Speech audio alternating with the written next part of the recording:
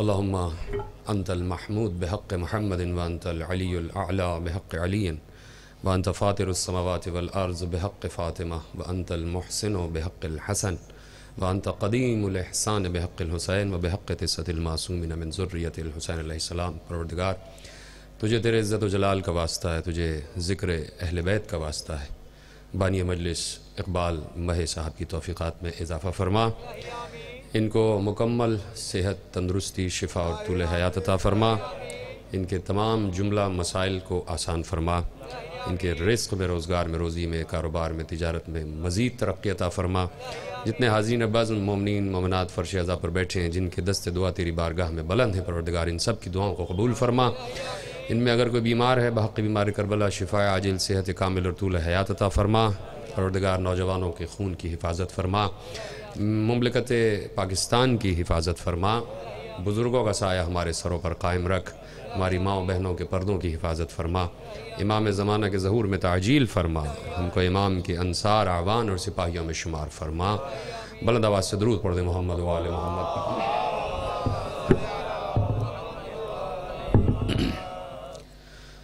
أعوذ بالله السميع العليم من الشيطان اللعين الرجيم. بسم الله الرحمن الرحيم. الحمد لله المعروف من غير رؤية. والخالق من غير روية. الذي لم يزل قائما دائما. إذ لا سماء ذات أبراج. ولا ليل داج ولا بحر ساج ولا أرض ذات مهاد ولا خلق ذو اعتماد والصلاة والسلام والتحية والإكرام على نبي الرحمة وخازن المغفرة وقائد الخير والبركة ومنقذ العباد من الهلكة سيدنا ومولانا أبي القاسم محمد وأهل بيته الطيبين الطاهرين المعصومين المظلومين المنتخبين المنتجبين الذين أذهب الله عنهم الرجس وطهرهم تطهيرا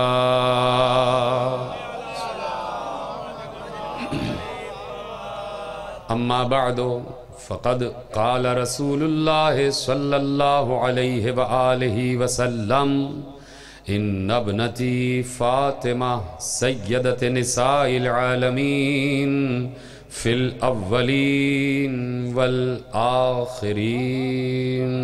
صلوات پڑھے محمد وآلہ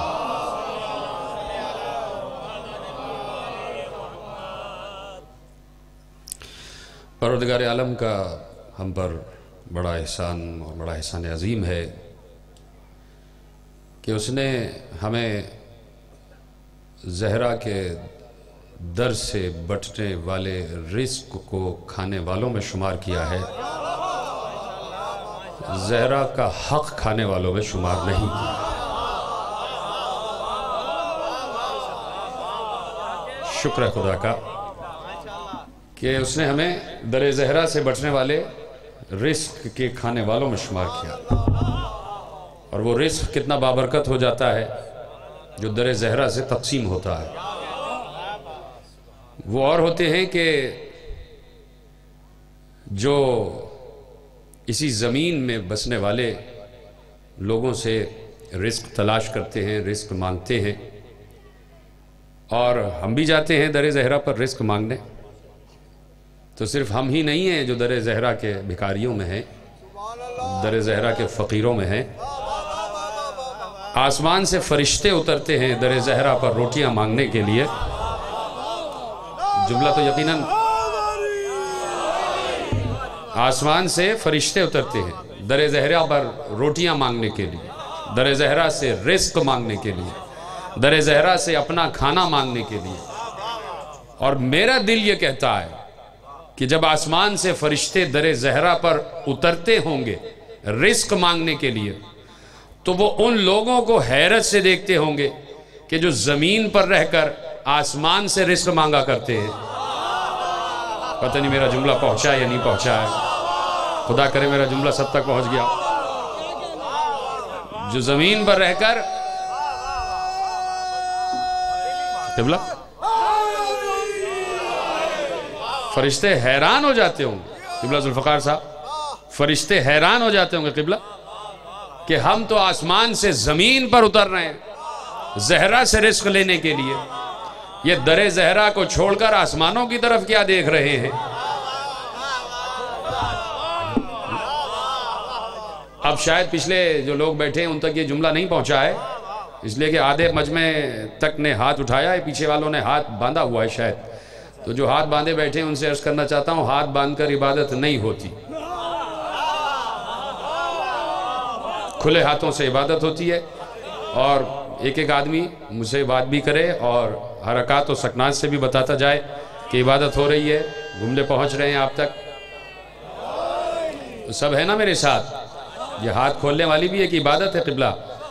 اقبال صاحب، ہاتھ کھولنے کی بھی ایک عبادت ہے شاید بھائی، کہ اختیارات کرامات لیا کرتا ہے یعنی کامل سے کمالات لیا کرتا ہے۔ داد دینے کے لیے جو بھی اٹھا دیتا ہے ہاتھ اصل میں مولا سے خیرات لیا کرتا۔ ہے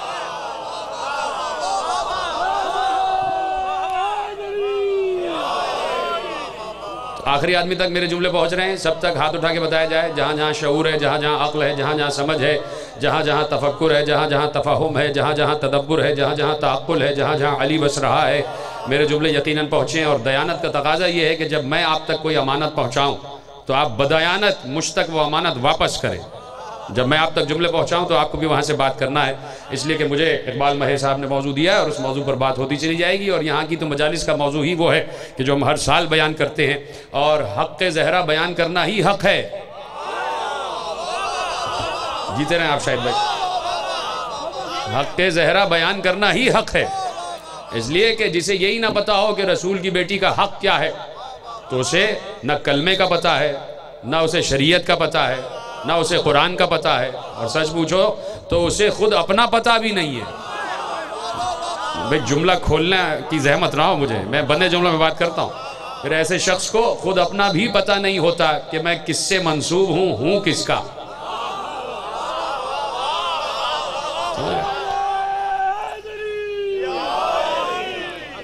تو اس لیے میں نے عرض کیا کہ ہمیں اللہ نے حق زہرہ سمجھنے والوں میں شمار کیا۔ اور یہ ایک دعوت عام ہے۔ وقت ہے نا آپ کے پاس ذکر سیدہ سننے کے لیے۔ اس سے بھی کوئی ضروری کام ہو تو چلے جائیے گا، بتائیے گا کہ مجھے زہرہ کے ذکر سے زیادہ ضروری کام ہے، میں وہاں جا رہا ہوں۔ تو اگر آپ کی نگاہ میں ذکر زہرہ بہت ضروری ہے تو میرے ساتھ دیں گے، میرے ساتھ ساتھ بیٹھے رہیں گے اور میں آپ سے بڑے قریب ہو کے بات کرنا چاہتا ہوں اور آپ سے بڑے جڑ کے بات کرنا چاہتا ہوں۔ عقیدے سے عقیدہ ملا کے، ایمان سے ایمان ملا کے، کیفیت سے کیفیت ملا کے مودت سے مودت ملا کے، محبت سے محبت ملا کے، آنکھ سے آنکھ ملا کے، دل سے دل ملا کے۔ یہ باتیں آپ سے آج کرنا ہے اور آپ میرے ساتھ رہیے گا۔ اس لیے میں نے کہا کہ حق کے زہرہ پہچاننا ہر کس و ناکس کے بس کی بات نہیں ہے۔ اس کے لیے تہارت والا ہونا پڑتا ہے۔ اس کے لیے صاحب نصب ہونا پڑتا ہے، اس کے لیے صاحب شعور ہونا پڑتا ہے۔ شجرے کا پاکیزہ ہونا ضروری ہے۔ اس لیے کہ پیغمبر پر جب آیتیں اتر رہی تھیں، جا کے عالم اسلام سے کوئی سوال پوچھے، میری باتیں سمجھ میں آ رہی ہیں۔ میں اتنی تیزی سے بات کروں گا تاکہ بہت زیادہ مسائل آپ تک پہنچ جائیں۔ ہلکے ہلکے اس لیے نہیں کر رہا کہ پھر وقت بہت زیادہ لگ جائے گا۔ تو میرے ساتھ ساتھ تیزی تیزی سے چلنا ہے، ذہن میرے ساتھ جوڑنا ہے اور یہیں بیٹھ کے سمجھنا ہے۔ یہ نہیں ہے کہ گھر جا کے سمجھ کے کل آئیں گے۔ اتنا ٹائم نہیں ہے۔ یہیں پہ بیٹھ کے میری باتیں سمجھنا، مجھے بتاتے رہنا ہے کہ باتیں آپ تک پہنچ رہی ہیں۔ تو میں نے کہا کہ تیئیس برس عالم اسلام سے ایک فکری بات کرنا چاہتا ہوں آپ سب کے حوالے سے کہ میں صرف یہ سوال پوچھتا اقبال صاحب کہ پیغمبر نے تیئیس برس تیئیس برس پیغمبر جب کوہ ابو قبیس میں کھڑے ہوئے ہیں، چالیس برس کے تھے نا، چالیس سال کے۔ اور اس وقت اللہ نے کہا کہ آپ ان کو بتا دیجیے کہ آپ محبوب ہیں۔ آپ ان کو بتا دیجیے کہ آپ صاحب لولاک ہیں۔ آپ ان کو بتا دیجیے کہ آپ نہ ہوتے تو یہ بھی نہ ہوتے۔ آپ ان کو بتا دیجیے کہ آپ ہی رسول ہیں۔ آپ ان کو بتا دیجیے کہ آپ ہی نبی ہیں۔ آپ ان کو بتا دیجیے کہ آپ ہی خبر ہیں۔ آپ ان کو بتا دیجیے کہ آپ ہی بتائیں گے کہ اللہ کون ہے۔ جیسے ہی نبی کو اجازت ملی تو چالیس برس کے تھے۔ چالیس برس کے بعد تریسٹھ برس تک پیغمبر نے تیئیس برس، تیئیس سال۔ اللہ کا پیغام سنایا۔ پہلی وہی جب آئی ہے، پیغمبر چالیس سال کے تھے۔ آخری وہی جب آئی ہے، پیغمبر تریسٹھ سال کے تھے۔ یعنی تیئیس سال میں قرآن اترا ہے۔ تیئیس سال میں شریعت امت کے حوالے ہوئی ہے۔ تیئیس سال میں فقہ امت کے حوالے ہوئی ہے۔ تیئیس سال میں نماز بھی، روزہ بھی، حج بھی، زکوٰۃ بھی، حج بھی، جہاد بھی، سب کچھ امت کے حوالے ہوا ہے۔ سوال یہ پوچھ رہا ہوں، عالم اسلام کے پڑھے لکھے لوگوں سے سوال ہے۔ جاہلوں سے ہم بات کرتے ہی نہیں، اس لیے کہ ہم سلونی کے ماننے والے ہیں۔ حضر حیدری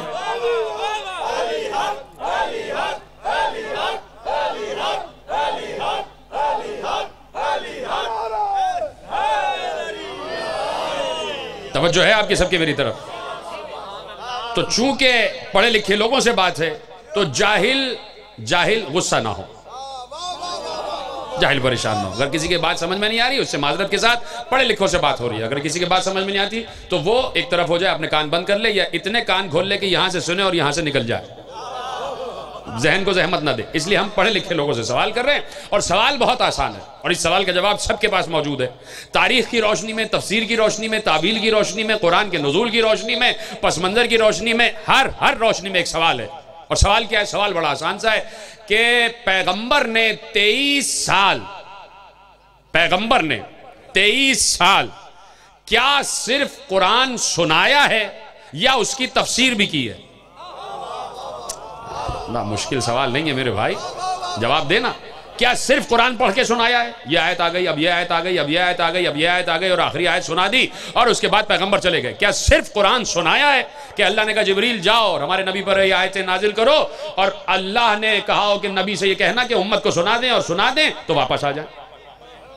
یہ تو کوئی بچہ بھی تسلیم نہیں کرے گا کہ پیغمبر کا کام صرف قرآن سنانا نہیں تھا۔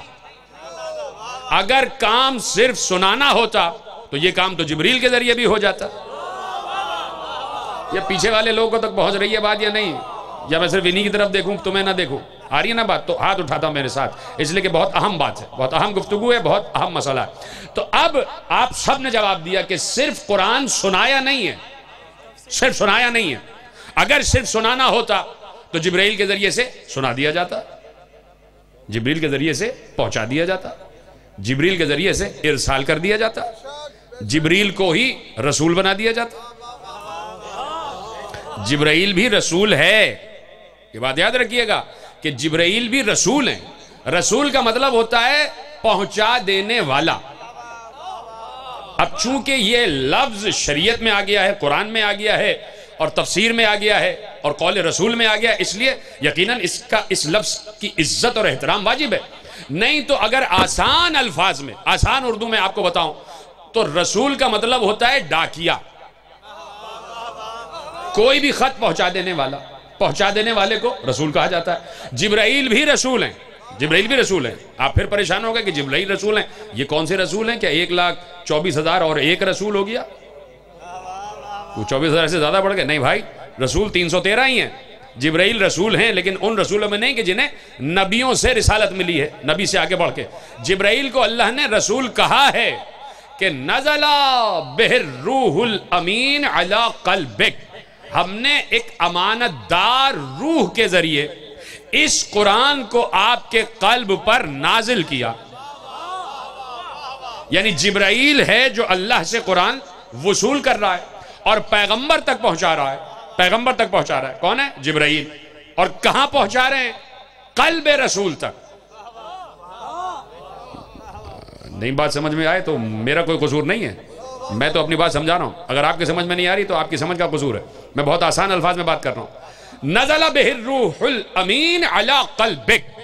اللہ کہہ رہا ہے کہ اس قرآن کو ہم نے امانت دار روح یعنی جبرائیل کے ذریعے آپ کے قلب پر نازل کیا۔ کہیں مجھے بتاؤ قرآن کی کوئی آیت ہے کہ کہیں یہ بتایا گیا ہو کہ اس قرآن کو جبرائیل کے ذریعے آپ کے ذہن پر نازل کیا ہے ہے؟ شکر گزار ہوں جہاں تک یہ جملے پہنچے، کہ ہم نے اس قرآن کو جبریل کے ذریعے آپ کے دماغ پر نازل کیا، کہیں نہیں ہے، آپ کے دماغ پر نازل کیا، کہیں نہیں ہے۔ اب مسئلہ یہ ہے کہ جس نے کہا، کیا کہا ابھی بتاؤں گا۔ اگر اس کو یہ خبر ہوتی کہ قرآن رسول کے دماغ پر نہیں، دل پر نازل ہوا ہے، تو کبھی یہ نہ کہتا کہ ان کو ہزیان ہو گیا۔ جیتے رہیں جیتے رہیں، سلامت رہیں جہاں تک میری بات پہنچ رہی۔ ہے قرآن کیا کہہ رہا ہے کہ ہم نے آپ کے قلب پر قرآن نازل کیا۔ آپ کے قلب پر قرآن نازل کیا۔ خدا کے لیے میرے جملے ضائع نہ ہو میں کبھی بھی بھرتی کی تقریر نہیں کرتا ممبر پہ۔ میں ایک فریضہ سمجھ کر ممبر کا حق ادا کرنے کے لیے بیٹھتا ہوں۔ اور وہ میں آپ کے حوالے کر رہا ہوں کہ کہیں نہیں لکھا کہ دماغ پر نازل ہوا ہے۔ کہاں ہوا ہے؟ قلب رسول پر۔ کیا نازل ہوا ہے؟ پورا قرآن۔ کہیں مجھے بتاؤ کہ اللہ نے کہا ہو کہ ہم نے صرف سورہ فاتح آپ کے قلب پر نازل کیا ہے۔ کہیں بتاؤ کہ لکھا ہو کہ ہم نے سورہ بقرہ صرف آپ کے قلب پر ہم نے سورہ بقرہ نازل کیا ہے۔ یا کہیں بتاؤ کہ کہیں لکھا ہو کہ ہم نے صرف سورہ آل عمران نازل کیا باقی کہیں اور نازل کیا نہیں، پورا کا پورا قرآن قلب رسول پر نازل ہوا ہے۔ بات پہنچ گئی۔ اب ذرا قرآن کا تو تعارف حاصل کرو کہ یہ قرآن ہے کیا؟ یہ قرآن ہے کیا؟ جس وقت قرآن سمجھ میں آ جائے گا قلب رسول سمجھ میں آ جائے گا۔ قرآن کا وزن سمجھو تو قلب رسول کا وزن سمجھ میں آ جائے گا۔ قرآن کی وسعت سمجھو تو قلب رسول کی وسعت سمجھ میں آ جائے گی۔ قرآن کی لامحدودیت سمجھو۔ بولے نا بھائی میرے ساتھ۔ قرآن کی لامحدودیت سمجھو تو قلب رسول کی لامحدودیت سمجھ میں آ جائے گی۔ اور پھر جملہ کہوں، قرآن کا علم سمجھو۔ جیتے رہیں۔ خود بہت جملے جوڑتے جائیں۔ قرآن کا علم سمجھو تو قلب رسول کا علم سمجھ میں آ جائے گا۔ قرآن تو سمجھو، اس کے بعد قلب رسول سمجھ میں آئے گا۔ اللہ کہہ رہا پورا کا پورا قرآن۔ ہم نے اپنے نبی کے، اپنے محبوب کے قلب پر نازل کیا، قلب پر۔ توجہ ہے نا، جملے پہنچ رہے ہیں۔ اب یہ قرآن کیا ہے؟ خود قرآن اپنے بارے میں ارشاد فرماتا ہے۔ یہ قرآن خود اپنا تعارف کراتا ہے۔ ایسا نہیں ہے قرآن نے اپنا تعارف نہ کرایا ہو۔ بسم اللہ کی بے سے لے کے وناس کی سین تک کسی کو اعتراض ہو، میں اس کو اجازت دے رہا ہوں، ابھی ہاتھ کھڑا کرے اور مجھ پر اعتراض کرے کہ نہیں، آپ جملہ غلط کہہ رہے ہیں۔ ابھی ابھی کہہ رہا ہوں۔ بسم اللہ کی بے سے، میرے جملے پہ جس کو اعتراض ہو مجھے بتائے۔ بسم اللہ کی بے سے، وناس کی سین تک۔ قرآن اللہ کا علم ہے۔ جو ہاتھ نہیں اٹھا رہا کیا اس کو اعتراض ہے؟ سب میرے ساتھ ہیں۔ خدا آپ کو خوش رکھے، خدا سلامت رکھے کہ آپ تک یہ جملہ پہنچ گیا۔ بسم اللہ کی بے سے، وناس کی سین تک۔ تین سو ایک سو چودہ سورے، چھ ہزار چھ سو آیتیں، لاکھوں اعراب، لاکھوں حروف، سب کے سب اللہ کا علم ہے۔ سب کہو بے شک، سب کے سب اللہ کا علم ہے۔ اچھا ابھی تک تو آپ نے سنا ہے نا کہ بھائی، ابھی تک آپ نے سنا کہ قرآن کی ایک ایک آیت کے کئی کئی معنی ہیں۔ سنتے ہو نا جملہ؟ شاہد بھائی، قرآن کی ایک ایک آیت کے ستر ستر معنی ہیں، ٹھیک ہے؟ ہم نے یہ جملہ سنا۔ یقین بالکل صحیح ہے۔ لیکن میں اپنے امام کے قول کی روشنی میں اس علم کو اور آگے بڑھاتا ہوں۔ معصوم نے کہا، صرف آیت نہیں، قرآن کے ایک ایک حرف میں ستر ہزار معنی چھپے ہوئے ہیں۔ سلامت رہیں۔ خدا آپ کو کوئی غم نہ دے سوا غم حسین کہ جیسے آپ نے جملہ محفوظ کیا۔ قرآن کا تعارف حاصل کرو۔ قرآن کا تعارف آپ کے حوالے کر رہا ہوں۔ کہ ایک ایک آیت تو بہت دور کی بات ہے کہ بہت بڑی آیت ہوتی ہے۔ معصوم نے کہا کہ قرآن کے ایک ایک حرف کے ایک ایک حرف اس میں ستر ہزار معنی ہے اگر کوئی اس کا منکر ہو جائے تو اس کا مطلب ہے کہ وہ قرآن کو موجزہ نہیں سمجھتا۔ قرآن موجزہ ہے۔ قرآن موزہ ہے۔ قرآن اللہ کے علم کا مرقع ہے۔ تو ایک ایک حرف کے ستر ستر ہزار معنی موجود ہیں۔ ہے کہ نہیں؟ کس کا علم ہے؟ اللہ کا علم۔ اللہ کون ہے؟ خالق ہے تمام اشیاء کا۔ اس لیے اس کے علم کا مقابلہ کوئی نہیں کر سکتا۔ جو اللہ کا علم ہے وہ کسی کا نہیں ہے۔ کسی نے معصوم سے پوچھا کہ معصوم یبنا رسول اللہ یہ بتائیے کہ اللہ کی ذات کیا ہے؟ پچھلے سال میں نے ایک جملہ عرض کیا تھا، وہ دہرا نہیں رہا ہوں، لیکن اپنی تقریر سے متصل ہونے کے لیے۔ اللہ کی ذات کیا ہے؟ معصوم نے ارشاد فرمایا، العلم و ذات ہی اس کی ذات علم ہے۔ یعنی وہ جو کچھ ہے جیسا ہے، علم ہے۔ دیکھو میں وقت لے رہا ہوں جان بوجھ کے۔ اس لیے کہ جب جملہ تمہارے حوالے کروں گا تو تم سے دعا لیں گا آخری آدمی تک مجھے دعا دے گا۔ میرا یہ یقین ہے جو میں تیاری کرا رہا ہوں آپ کی۔ پہلے علم سمجھو اللہ کا۔ اللہ علم ہے، مجسم علم ہے۔ اور یہ پوری کائنات اس نے اپنے علم کے تحت بنائی ہے۔ کائنات کی کوئی شے ایسی نہیں ہے جو علم خدا میں نہ ہو۔ یعنی اللہ کو یہ بھی پتا ہے کہ یہ قالین جتنے اجزاء سے مل کر بنے گا، ان اجزاء کی رگوں میں کیا ہے، یہ بھی اللہ کو معلوم ہے۔ یہ مشکل بات نہیں ہے بھائی۔ اللہ کو یہ بھی بتائے کہ تم کتنے اجزاء سے مل کر بنے ہو، اس لیے کہ وہ خالق ہے۔ اللہ کو یہ بھی معلوم ہے کہ یہ خلا کیا ہے۔ اللہ کو یہ بھی معلوم ہے کہ یہ فضا کیا ہے، یہ بھی اس کے علم میں ہے۔ اللہ کو معلوم ہے کہ زمینیں کتنی ہیں۔ اللہ کو معلوم ہے کہ ان زمینوں میں ذرات کی تعداد کیا ہے۔ اللہ پہ بات ہو رہی ہے، ذرا بولتے جاؤ نا، سبحان اللہ تو کہتے جاؤ نا، پروردگار کی حمد ہو رہی ہے۔ ان زمینوں میں ذرات کی تعداد کیا ہے؟ اللہ کو معلوم ہے۔ ان ذرات کو کتنا رزق چاہیے اللہ کو معلوم ہے۔ اللہ کو معلوم ہے آسمان کتنے ہیں۔ ان آسمانوں کا رزق کیا ہے اللہ کو معلوم ہے ان آسمانوں کی وسعتیں کیا ہیں اللہ کو معلوم ہے ان دو آسمانوں کے درمیان فاصلہ کتنا ہے اللہ کو معلوم ہے دو آسمانوں کے درمیان کتنے ملائکہ ہیں اللہ کو معلوم ہے ان ملائکہ میں کتنے رسول ہیں اللہ کو معلوم ہے ان رسولوں کو کہاں کہاں مبوس کیا گیا اللہ کو معلوم ہے ان کے نام کیا ہیں اللہ کو معلوم ہے ان کی تعداد کیا ہے ان کو اللہ کو معلوم ہے ان فرشتوں کے جسم پر پر کتنے ہیں اللہ کو معلوم ہے پروں پہ لکھا کیا ہے اللہ کو معلوم ہے کتنی لامحدودیت کی تعداد میں ہے اللہ کو معلوم ہے۔ بارش قیامت تک کتنی برسے گی اللہ کو معلوم ہے ان بارش میں پانی کے قطروں کی تعداد کیا ہوگی اللہ کو معلوم ہے کتنی آبشاریں ہیں اللہ کو معلوم ہے کتنے جھرنے ہیں اللہ کو معلوم ہے کتنے پہاڑ ہیں اللہ کو معلوم ہے کتنی پہاڑیاں ہیں اللہ کو معلوم ہے کتنی گھاٹیاں ہیں اللہ کو معلوم ہے کتنی وادیاں ہیں اللہ کو معلوم ہے کتنے سمندر ہیں اللہ کو معلوم ہے کتنے دریا ہیں اللہ کو معلوم ہے ان میں موجیں کہاں تک جا رہی ہیں اللہ کو معلوم ہے موجیں اٹھ اٹھ کے کیا کہہ رہی ہیں اللہ کو معلوم ہے ان سمندروں اور دریاؤں میں پانی کے قطروں کی تعداد کیا ہے؟ اللہ کو معلوم ہے۔ ان قطروں کی غذا کیا ہے؟ اللہ کو معلوم ہے۔ دنیا میں کتنے درخت ہیں؟ اللہ کو معلوم ہے۔ ان درختوں کی کتنی شاخیں ہیں؟ اللہ کو معلوم ہے۔ ان شاخوں میں کتنے پتے ہیں؟ اللہ کو معلوم ہے۔ ان پتوں میں کتنی رگیں ہیں؟ اللہ کو معلوم ہے۔ ان رگوں میں کون سی غذا دوڑ رہی ہے؟ اللہ کو معلوم ہے۔ انسان کتنے ہیں اللہ کو معلوم ہے؟ انسان کی رگیں کتنی ہیں اللہ کو معلوم ہے؟ انسان کی نیتیں کیا ہیں اللہ کو معلوم ہے؟ انسان کیا دیکھ رہا ہے اللہ کو معلوم ہے؟ انسان کیا سوچ رہا ہے اللہ کو معلوم ہے؟ انسان کیا چھوڑ کے آیا اللہ کو معلوم ہے؟ انسان کیا لے کے جا رہا ہے اللہ کو معلوم ہے؟ انسان کی اللہ کو معلوم ہے انسان کی عبادت کیا ہے اللہ کو معلوم ہے انسان کی ریاضت کیا ہے اللہ کو معلوم ہے انسان کی اطاعت کیا ہے اللہ کو معلوم ہے انسان کی طہارت کیا ہے اللہ کو معلوم ہے انسان کی شرافت کیا ہے اللہ کو معلوم ہے انسان کا شجرہ کیا ہے اللہ کو معلوم ہے انسان کے جسم میں اجزاء کی تعداد کیا ہے اللہ کو معلوم ہے انسان کے نام کیا ہے اللہ کو معلوم ہے ان کے شجرے کیا ہیں اللہ کو معلوم ہے قیامت تک کتنے انسان آئیں گے اللہ کو معلوم ہے ان کی ضروریات کیا ہیں اللہ کو معلوم ہے ان کی ضروریات کتنی پوری ہوں گی اللہ کو معلوم ہے کتنی رہ جائیں گی اللہ کو معلوم ہے کون کہاں سے اٹھے گا اللہ کو معلوم معلوم ہے کون کہاں دفن ہوگا اللہ کو معلوم ہے کون کس کی آغوش میں آئے گا اللہ کو معلوم ہے کون کتنے دن رہے گا اللہ کو معلوم ہے کس کو کتنا رزق چاہیے اللہ کو معلوم ہے کون کتنی سانسیں لے گا اللہ کو معلوم ہے کس کی کتنی اولاد ہوگی اللہ کو معلوم ہے کون کس کے گھر جائے گا اللہ کو معلوم ہے کون سفر کرے گا اللہ کو معلوم ہے کون حضر کرے گا اللہ کو معلوم ہے کون میدان میں جمع رہے گا اللہ کو معلوم ہے کون فرار کر جائے گا اللہ کو معلوم ہے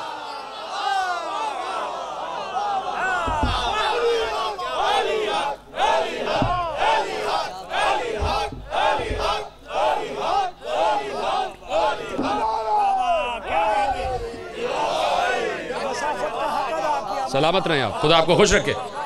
یہ آپ ہی کے تو ایک شیر پڑے ہوئے پہ تقریر شروع کی ابھی بتاؤں گا۔ اللہ کا علم وسیع ہے، اللہ کا علم لامحدود ہے۔ کوئی اللہ کے علم کا مقابلہ نہیں کر سکتا۔ اور وہی علم اللہ نے قرآن میں رکھا ہے۔ جملہ محفوظ کرو نا۔ وہ سارا کا سارا علم اللہ نے قرآن میں رکھا ہے۔ قرآن کو معلوم ہے انبیاء کتنے۔ اب دہرا لو نا، سارا کا سارا اللہ کا علم۔ جتنی فہرست میں نے بتائی سب دہراؤ۔ اس کا مطلب ہے کہ قرآن کو معلوم ہے انبیاء کتنے، قرآن کو معلوم ہے اوسیہ کتنے، قرآن کو معلوم ہے اولیاء کتنے، قرآن کو معلوم ہے شہدہ کتنے، قرآن کو معلوم ہے صالحین کتنے، قرآن کو معلوم ہے صدیقین کتنے۔ صدیق تمہارے بنائے ہوئے کتنے، اللہ کے بنائے ہوئے کتنے۔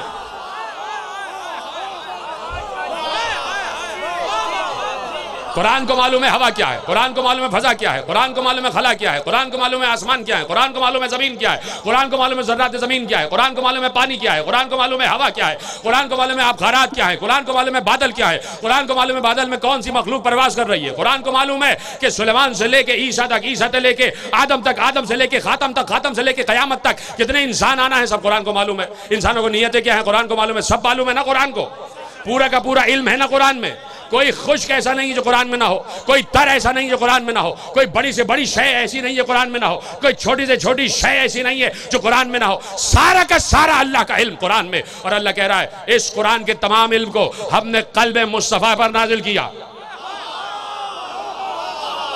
جملہ بھی دینے جا رہا ہوں۔ کا سارا علم سارا علم جو قرآن کا ہے، وہ اللہ کا علم ہے۔ اور وہ قرآن کا علم ہم نے قلب مصطفیٰ پر نازل کیا۔ اگر قرآن محدود ہے، تو قلب مصطفیٰ محدود۔ اگر اللہ کا علم محدود ہے، تو قلب مصطفیٰ محدود۔ اور اگر اللہ کا علم لا محدود ہے، تو قلب مصطفیٰ لا محدود۔ اللہ کا علم لا محدود، تو قلب مصطفیٰ لا محدود۔ جو کچھ اللہ جانتا ہے، وہ قرآن میں رکھا۔ اور جو قرآن میں ہے وہ قلب مصطفیٰ پر نازل ہوا۔ امت خوش ہو گئی۔ ہمارے نبی کا قلب اتنا وسیع، ہمارے نبی کا قلب اتنا لامحدود، ہمارے نبی کا قلب اتنا وزنی کہ اس نے اللہ کے علم کا وزن اٹھایا ہوا ہے۔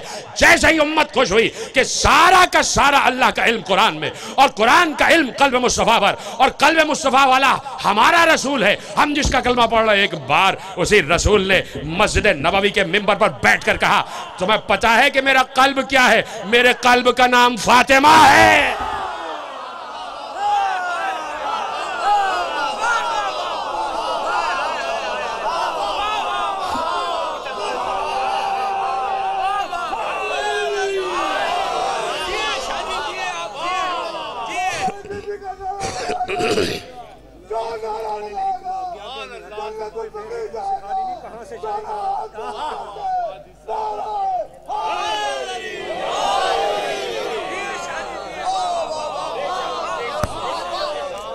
پہنچ گئی بات آپ تک۔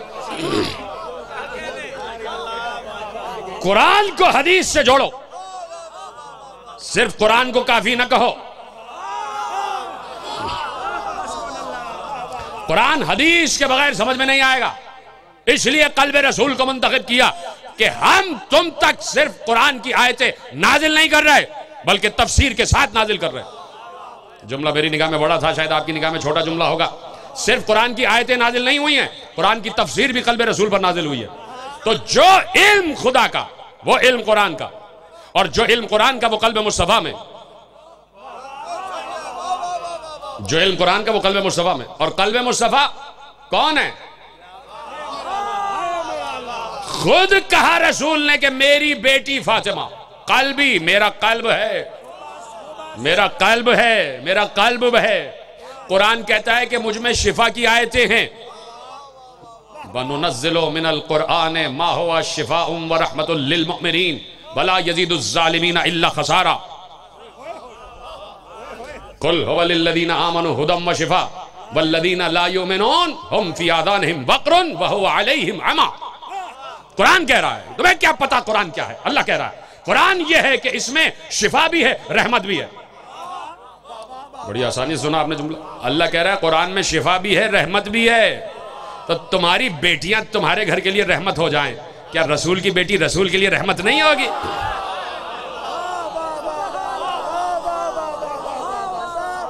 کیا رسول کی بیٹی رحمت؟ قرآن کہہ رہا ہے کہ اس قرآن میں شفا بھی ہے، اس قرآن میں رحمت بھی ہے۔ سمجھے آپ؟ اور قرآن کہہ رہا ہے کہ اس قرآن میں ہدایت بھی ہے اور رحمت بھی ہے۔ دو آیتیں میں نے آپ کے حوالے کی۔ تو قرآن کے پاس شفا ہے، رحمت ہے۔ قرآن کے پاس ہدایت ہے، رحمت ہے۔ دونوں آیتوں میں الگ الگ مضامین قرآن نے بیان کیے۔ قرآن کے پاس کیا ہے؟ شفا ہے۔ شفا کس چیز کے لیے؟ مرض کے لیے۔ کوئی بیمار ہوتا ہے، وہ شفا کا طلبگار ہوتا ہے۔ صحت مند دعا نہیں کرتا کہ مجھے شفا دے۔ بیمار کہتا ہے، مجھے شفا دے، مجھے شفا دے، مجھے شفا دے۔ قرآن کہہ رہا ہے، میرے اندر شفا ہے۔ قرآن کہہ رہا ہے، میرے اندر شفا ہے شفا ہے، شفا چاہے۔ قرآن کہہ رہا ہے تمہیں بیمار ہو، خدا نخواستہ۔ ہمارے اندر شفا موجود ہے۔ قرآن کہہ رہا ہے، میری آیتوں میں شفا۔ ہے اب سمجھ میں آیا۔ دنیا کو، ہمیں تو بہت پہلے سمجھ میں آ چکا۔ دنیا کو اب سمجھ میں آیا۔ یہ جو ہم در زہرا پر سر رکھ کر کہتے ہیں، بی بی شفا دے دو، ہمیں پتا ہے کہ قرآن اسی گھر میں موجود ہے۔ سلامت رہے، مجھے توقع نہیں تھی کہ جملہ آپ تک پہنچ جائے گا۔ ہمیں معلوم ہے۔ کہ قرآن اس گھر میں موجود ہے۔ قرآن اس گھر میں موجود ہے اور یہیں سے شفا ملے گی۔ تو جہاں قرآن ہوگا وہیں سے شفا ملے گی۔ ہمیں معلوم ہے کہ قرآن قلب مصطفیٰ میں ہے۔ قلب مصطفیٰ زہرا ہے۔ اس لیے ہم کہتے ہیں بی بی شفا۔ کتنی آیتیں ہیں قرآن میں۔ کتنی آیتیں ہیں قرآن میں۔ جا کے پڑھو عمل قرآن۔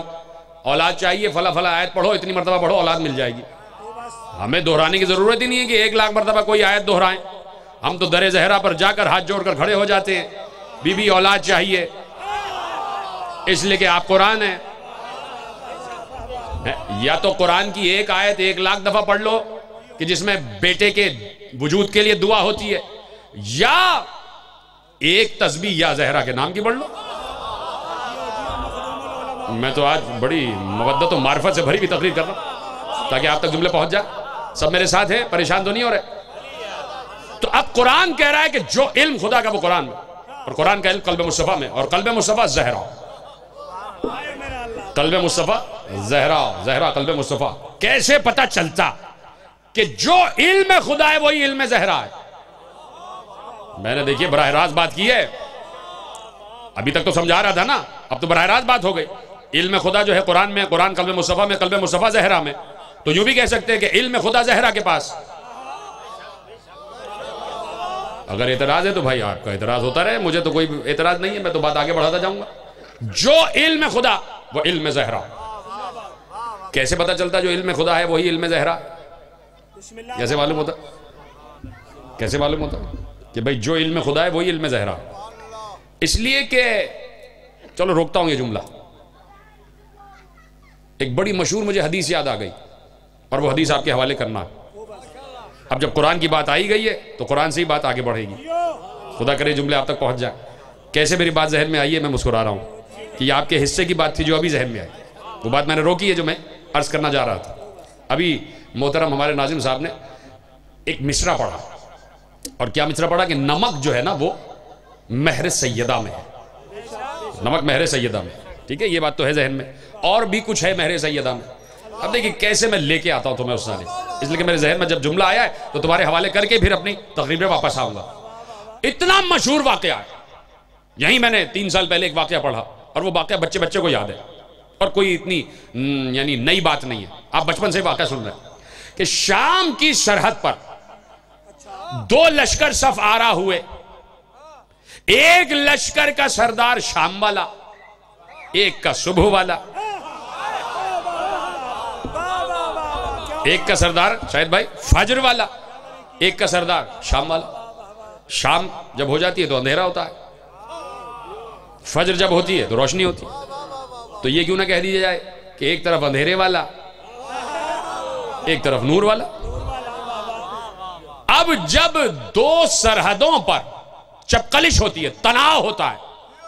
دو سرحدوں کی جو فوجیں آمنے سامنے ہوتی ہیں تو تیسرا ملک جس کی سرحد دونوں سے مل رہی ہوتی ہے، وہ پریشان ہوتا ہے۔ ایسا نہ ہو یہ جنگ میرے اندر آ جائے۔ تو وہ یہ دیکھنا چاہتا ہے ان دونوں میں سے حق پر کون ہے۔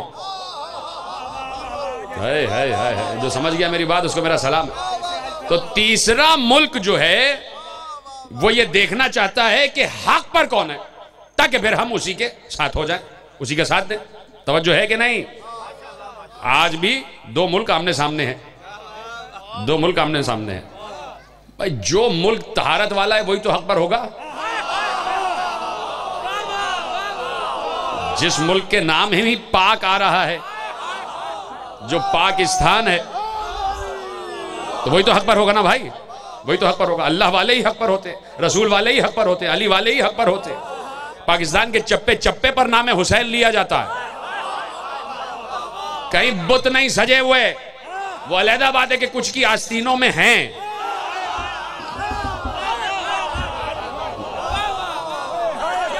تو ہمارا پاک ملک ہے اور پاکستان یہ نام رکھائی اس لیے کہ یہاں پاک لوگوں کا تذکرہ ہوگا۔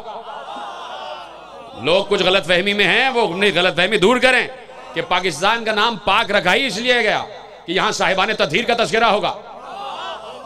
اس لیے کہ دیکھیے، پاکستان جب بن گیا تو چھ مہینے تک پاکستانی فوج کی تنخواہ راجہ صاحب محمود آباد نے ادا کی تھی۔ راجہ صاحب محمود آباد، جو بڑے موالی تھے، بڑے مولائی تھے، جن کی سٹیٹ میں آج تک علم اٹھتا ہے۔ پاک پاک لوگوں کا تذکرہ ہوتا ہے۔ تو جو پاک ہے، وہی حق پر ہے۔ اور ہمیں بھی یہ فخر ہے کہ ہم حق پر ہیں۔ اور ہم کہہ دینا چاہتے ہیں، جہاں تک بات چلی جائے، کہ افواج پاکستان کو جب شیعہ خون کی ضرورت پڑے گی، ہم حاضر ہیں۔ تو اس لیے کہ ہمیں خون بہانے کی عادت ہے۔ ہم خود اپنا خون بہا لیتے۔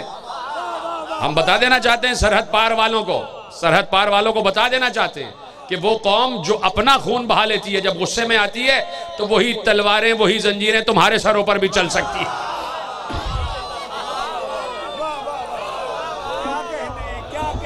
تو اب جب دو ملک آمنے سامنے ہوتے ہیں تو تیسرا ملک جو ہوتا ہے، اس کو پریشانی ہوتی ہے کہ کون حق پر؟ ہے ایسا نہ ہو کہ یہ آگ میرے بھی سرحد میں آ جائے۔ تو ایسے ہی شام سے ملی ہوئی روم کی سرحد تھی۔ روم کا بادشاہ، عیسائی بادشاہ، اس کو پریشانی ہو گئی کہ دو لشکر ٹکرا رہے ہیں اور دونوں جو ہیں وہ اسلامی لشکر ہیں۔ اور دونوں کے سرداروں کا یہ دعویٰ ہے کہ ہم رسول کے وارث ہیں۔ دونوں یہ کہتے ہیں کہ ہم رسول کے وارث ہیں۔ یہ شام والا بھی کہہ رہا ہے اور فجر والا بھی کہہ رہا ہے۔ دونوں کا دعویٰ یہ ہے کہ وراثت رسول ہمارے پاس ہے۔ تو اب اگر آج کا کوئی سربراہ ہوتا تو وہ کہتا اپنے سپاہی کو بھیج کے کہ جاؤ۔ دیکھ کے آؤ کس کی اکانومی مضبوط ہے؟ کس کے پاس زیادہ مال ہے؟ جس کے پاس زیادہ مال ہوگا، بس اسی کا ساتھ دینا۔ سمجھ رہے ہیں میری بات؟ لیکن اتنا شعور تھا اسے روم کے بادشاہ کو۔ اس نے اپنے قاصد کو یہ کہہ کے نہیں بھیجا کہ دیکھ کے آؤ دونوں کے پاس میں سے مال کس کے پاس زیادہ ہے؟ نہیں۔ اس نے کہا یہ دیکھ کے آؤ کہ دونوں کے پاس میں سے علم کس کے پاس زیادہ ہے؟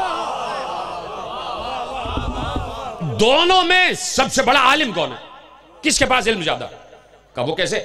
کہا بھائی ہم تمہیں کچھ سوالات دے رہے ہیں۔ وہ سوال جاؤ، پہلے شام والے سے پوچھنا، پھر کوفے والے سے پوچھ لینا۔ پہلے ان سے پوچھ لینا، پھر اس سے پوچھ لینا۔ یہ آیا وہاں سے چلتا ہوا۔ شام والے نے بڑا استقبال کیا، بڑا متاثر تھا وہ۔ روم والوں سے، فرنگیوں سے، انگریزوں سے۔ بڑی چیزیں اس نے امپورٹ کی روم والوں سے۔ کھڑے ہو گئے استقبال کے لیے، روم کا سفیر آیا، بٹھایا برابر میں، اور حال احوال یہ وہ، کیا کچھ کھانا پینا یہ ہو گیا۔ کیسے آنا ہوا؟ کہ روم کے بادشاہ نے کچھ سوالات پوچھوائے؟ سوالات کے جوابات چاہتا ہے۔ کہ کیا سوال ہے؟ میں اکثر ایک جملہ کہتا ہوں کہ جب کبھی کسی بچے سے ایگزام میں سوال کیا جاتا ہے وائوا پوچھا جاتا ہے اورل سوال ہوتے ہیں نا جب، تو اس وقت تک دوسرا سوال نہیں کیا جاتا، جب تک وہ پہلے سوال کا جواب نہ دے لے۔ ہاں وہ الگ بات ہے کہ وہ کہہ دے کہ نہیں، مجھے نہیں معلوم۔ تب کہا جاتا ہے کہ چلو دوسرا سوال۔ پہلے کا جواب دو، تب دوسرا سوال کیا جائے گا۔ اب روم والے نے سوال کیا شام والے سے۔ کبھی ہمارے بادشاہ نے سوالات پوچھوائے کون سے سوالات ہیں؟ کا سوال یہ ہے کہ پہلا سوال یہ پوچھتا ہے کہ زمین سے آسمان کا فاصلہ بتا دو۔ زمین سے آسمان کا فاصلہ کتنا ہے؟ اب جواب دینا چاہیے تھا نا۔ وہ کہنے لگے کہ اگلا سوال۔ اگلا سوال۔ یہ مسکرا دیا کہ بھائی ابھی پہلے کا جواب نہیں دیا، اگلا۔ اچھا دوسرا سوال یہ ہے کہ مشرق سے مغرب کا فاصلہ کتنا ہے؟ دیکھو، مشہور بات ہے، مشہور بات پہ بولا کرو، سب بچے بچے کو یاد ہے۔ میں صرف یاد دلا رہا ہوں۔ میں صرف اس جملے تک پہنچنا چاہ رہا ہوں، میرے بھائی نے عرض کیا تھا۔ کہ بھائی، مشرق سے مغرب تک کا فاصلہ کتنا ہے؟ اس نے کہا، تیسرا سوال۔ دو کا جواب ہی نہیں۔ اچھا مشرق سے مغرب کا فاصلہ۔ اچھا تیسرا سوال کیا ہے؟ کہ بھائی، تیسرا سوال اس نے یہ کیا ہے کہ وہ کون سی دس چیزیں ہیں جو ایک دوسرے پر غالب ہیں؟ اس نے کہا کوئی اور سوال بھی ہے؟ اس نے جیب سے ایک چھوٹی سی شیشی نکالی اور کہا، بادشاہ روم نے کہا، اس شیشی میں کائنات کی ہر شے کو بھر دو۔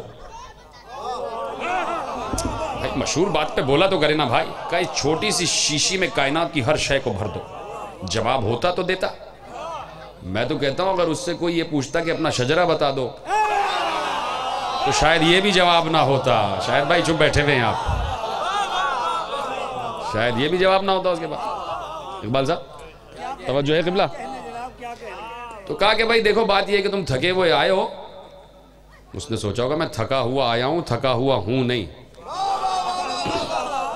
کہا بھائی تم تھکے ہوئے آئے ہو، تھوڑا سا لے کے جاؤ، ان کو آرام کرواؤ، ان کو کمرہ دکھاؤ، ان کی خاطر مدارات کرو۔ کہ بھائی دو تین دن بعد دربار دوبارہ سجے گا اور پھر ہم آپ کا جواب دیں گے۔ ٹھیک ہے، تین دن طے ہو گئے۔ جیسے ہی وہ اپنے کمرے میں گیا، اس نے شام والے نے فوراً اپنے ایک سپاہی کو بلایا، کہا، بھائی، یہ دیکھو، تم شامیوں کا لباس پہنو، یہ اتارو۔ کوفیوں کا لباس پہنو۔ اور جاؤ، کوفے میں ایک بیٹھا ہے جو کہہ رہا ہے، مجھ سے پوچھو۔ مجھ سے سوال کرو۔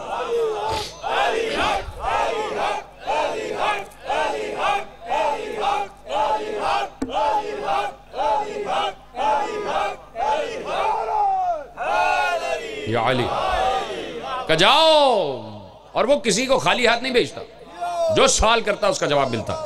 یہ پہنچا۔ علی بیٹھے۔ ممبر کوفہ سجا ہوا ہے۔ سلونی کی بزم سجی ہوئی ہے۔ سامنے علماء بیٹھے ہوئے علی کے چاہنے والے بھی بیٹھے ہوئے مسجد کوفہ کھجا کھج بھری ہوئی ہے۔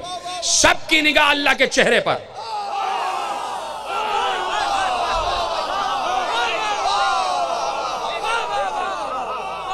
سب کی نگاہ۔ سب زیارت کر رہے ہیں وجہ اللہ کی۔ اور سب کے کان ہمتن گوش ہیں کہ اللہ کی زبان بول رہی ہے۔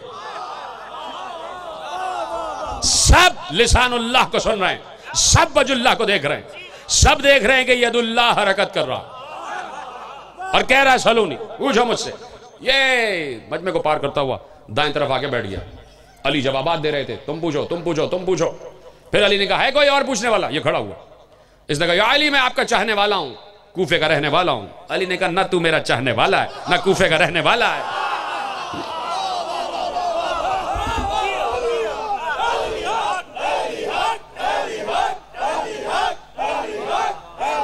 سیدین بھائی؟ توجہ ہے؟ کہ نہ تو کوفے کا رہنے والا ہے، نہ میرا چاہنے والا ہے۔ اس لیے علی پر فخر ہے۔ کہ علی کو کوئی دھوکہ نہیں دے سکتا۔ بڑا جملہ کہا تھا میں نے، اس پر غور کرنا۔ اس لیے چودہ سو برس سے علی پر فخر ہے کہ علی کے سامنے، نہ علی کے سامنے، نہ علی کے پیٹ پیچھے کوئی علی کو دھوکہ نہیں دے سکتا۔ علی عین اللہ ہے۔ اللہ کی آنکھ ہے۔ آنکھ دیکھ لیتی ہے کہ ظاہر کیا ہے، باطن کیا ہے۔ کہ نہ تو کفے کا رہنے والا نہ میرا چاہنے والا ہے۔ اور سن، جس لیے آیا ہے، تو بتائے گا یا میں بتا دوں؟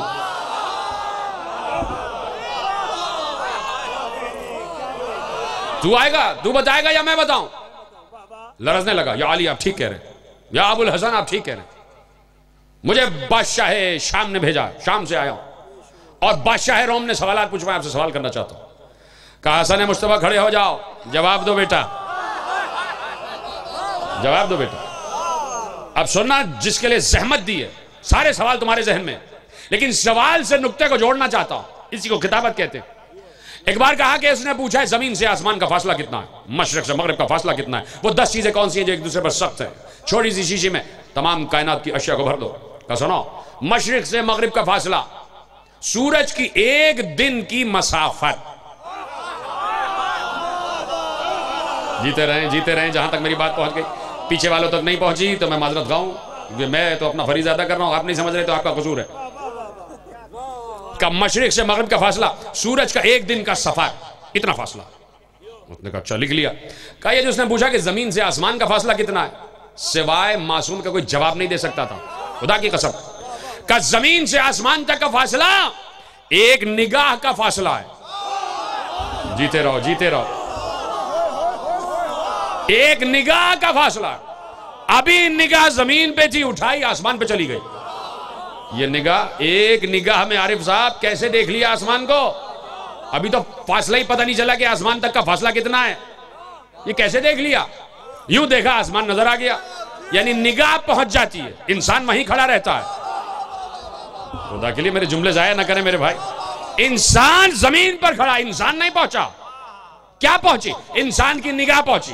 یہ انسان کی نگاہ کیسے پہنچ گئی؟ اس لیے کہ انسان کی نگاہ میں نور ہوتا ہے۔ حسن مشتبہ نے بتا دیا کہ نور کا اختیار ہے چشم زدن میں قابہ قوسین تک جائے بھی واپس بھی آ جائے۔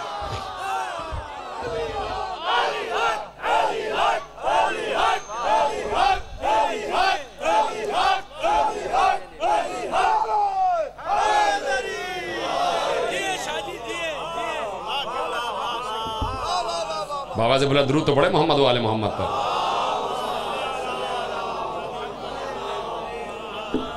کہا کہ وہ دس چیزیں کون سی ہیں جو ایک دوسرے پر سخت ہیں، غالب ہیں۔ کہا سنو، سب سے زیادہ سخت ہے پتھر۔ پتھر سے ہر چیز کو توڑا جا سکتا ہے۔ پتھر سے زیادہ سخت ہے لوہا۔ کہ لوہا پتھر کو بھی کاٹ دیتا ہے۔ لوہے سے زیادہ سخت ہے آگ جو لوہے کو پگھلا دیتی ہے۔ آگ سے زیادہ سخت ہے پانی جو آگ کو بجھا دیتا ہے۔ پانی سے زیادہ سخت ہے بادل جو پانی کو لیے لیے پھرتا ہے۔ بادل سے زیادہ سخت ہے ہوا جو بادل کو اڑائے پھرتی ہے۔ ہوا سے زیادہ سخت ہے ملک الہوا جو ہوا کو چلاتا ہے۔ ملک الہوا سے زیادہ سخت ہے ملک الموت، کہ ملک الموت ملک الہوا کو بھی موت دے گا۔ ملک الموت سے زیادہ سخت ہے موت، کہ ملک الموت کو بھی موت آنا ہے۔ موت سے زیادہ سخت ہے امر رب، اور ہم ہی تو امر رب ہیں، جسے چاہے موت دے دے، جسے چاہے۔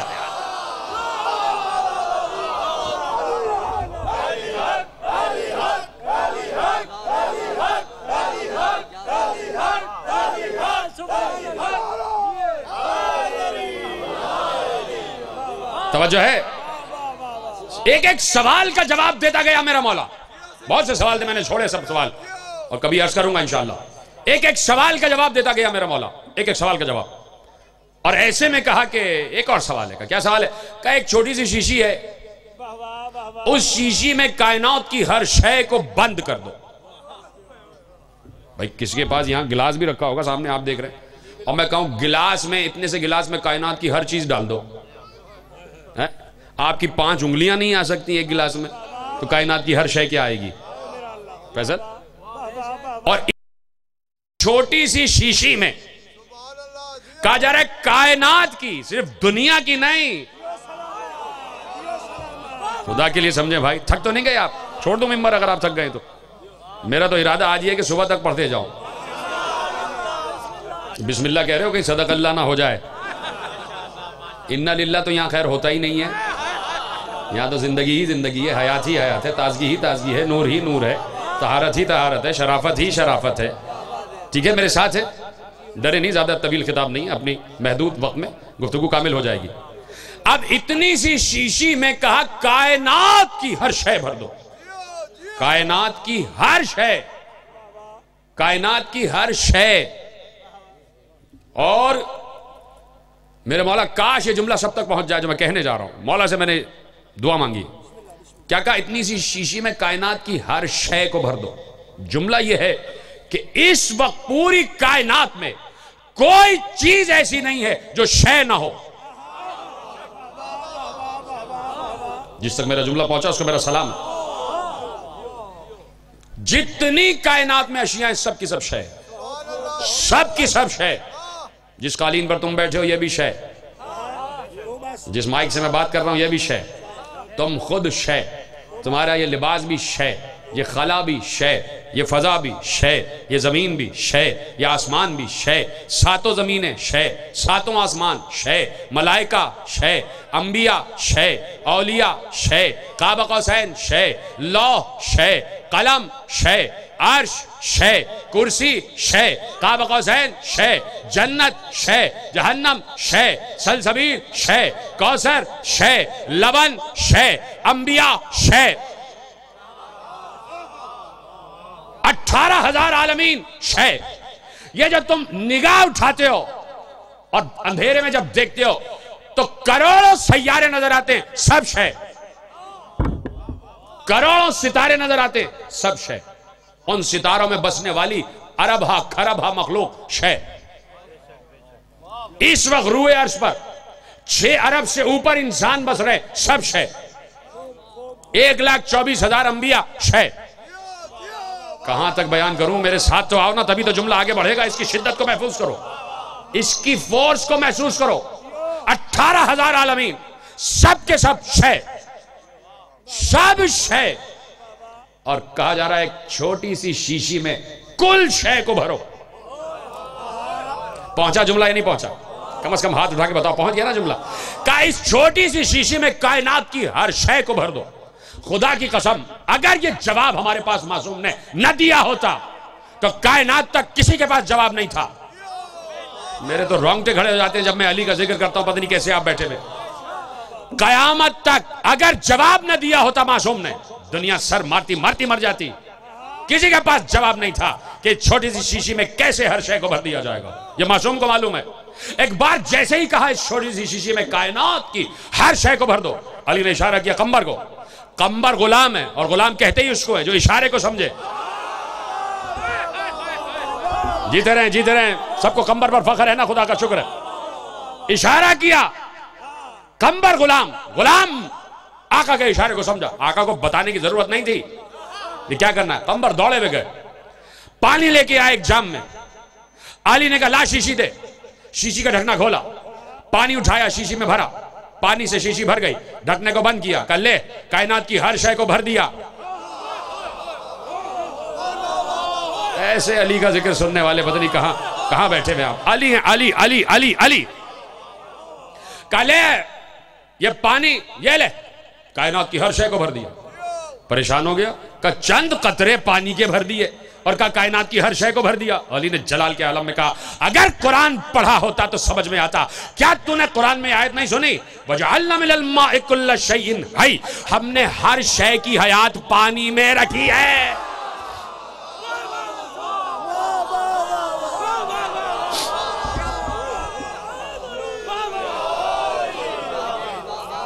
ذوالفقار صاحب، ہم نے ہر شے کی حیات پانی میں رکھی ہے۔ ہر شے کی حیات پانی میں رکھی ہے قبلہ خدا آپ کو خوش رکھے۔ کیسے مسکرا کے سب دیکھ رہے ہیں؟ سب کو خدا طول عمر عطا فرمائے۔ سب کی نسلوں میں مودت و معرفت منتقل ہوتی چلی جائے۔ خدا کسی کو کوئی غم نہ دے سوا غم حسین کے۔ اقبال صاحب کے لیے خصوصی دعا کرنا سب جنہوں نے فرش عذاب بچھایا، خدا ان کی پریشانیوں کو رد فرمائے اور ان کو سکون قلب عطا فرمائے۔ بڑی دعا کرنا ان کے لیے۔ اور یہ ساری مجلس آج ان کے لیے دعا بن کے لگ جائے گی انشاءاللہ۔ سب میرے ساتھ ہو۔ کہا، یہ کائنات کی ہر شے اللہ نے پانی سے بنائی ہے۔ ہم نے ہر شے کی حیات پانی میں رکھی ہے۔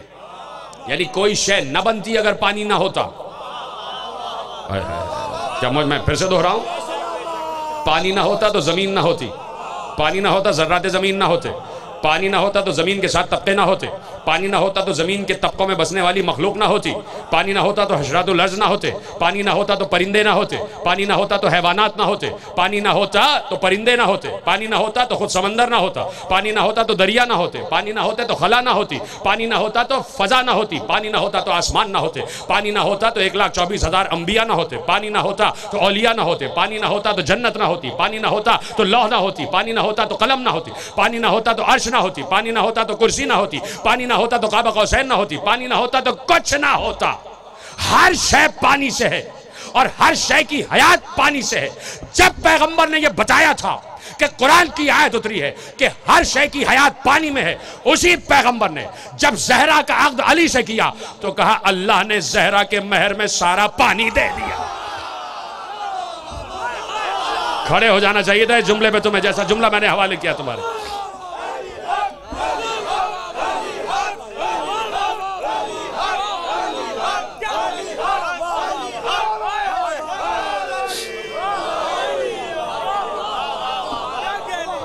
آپ جیتے رہیں، آپ سلامت رہیں۔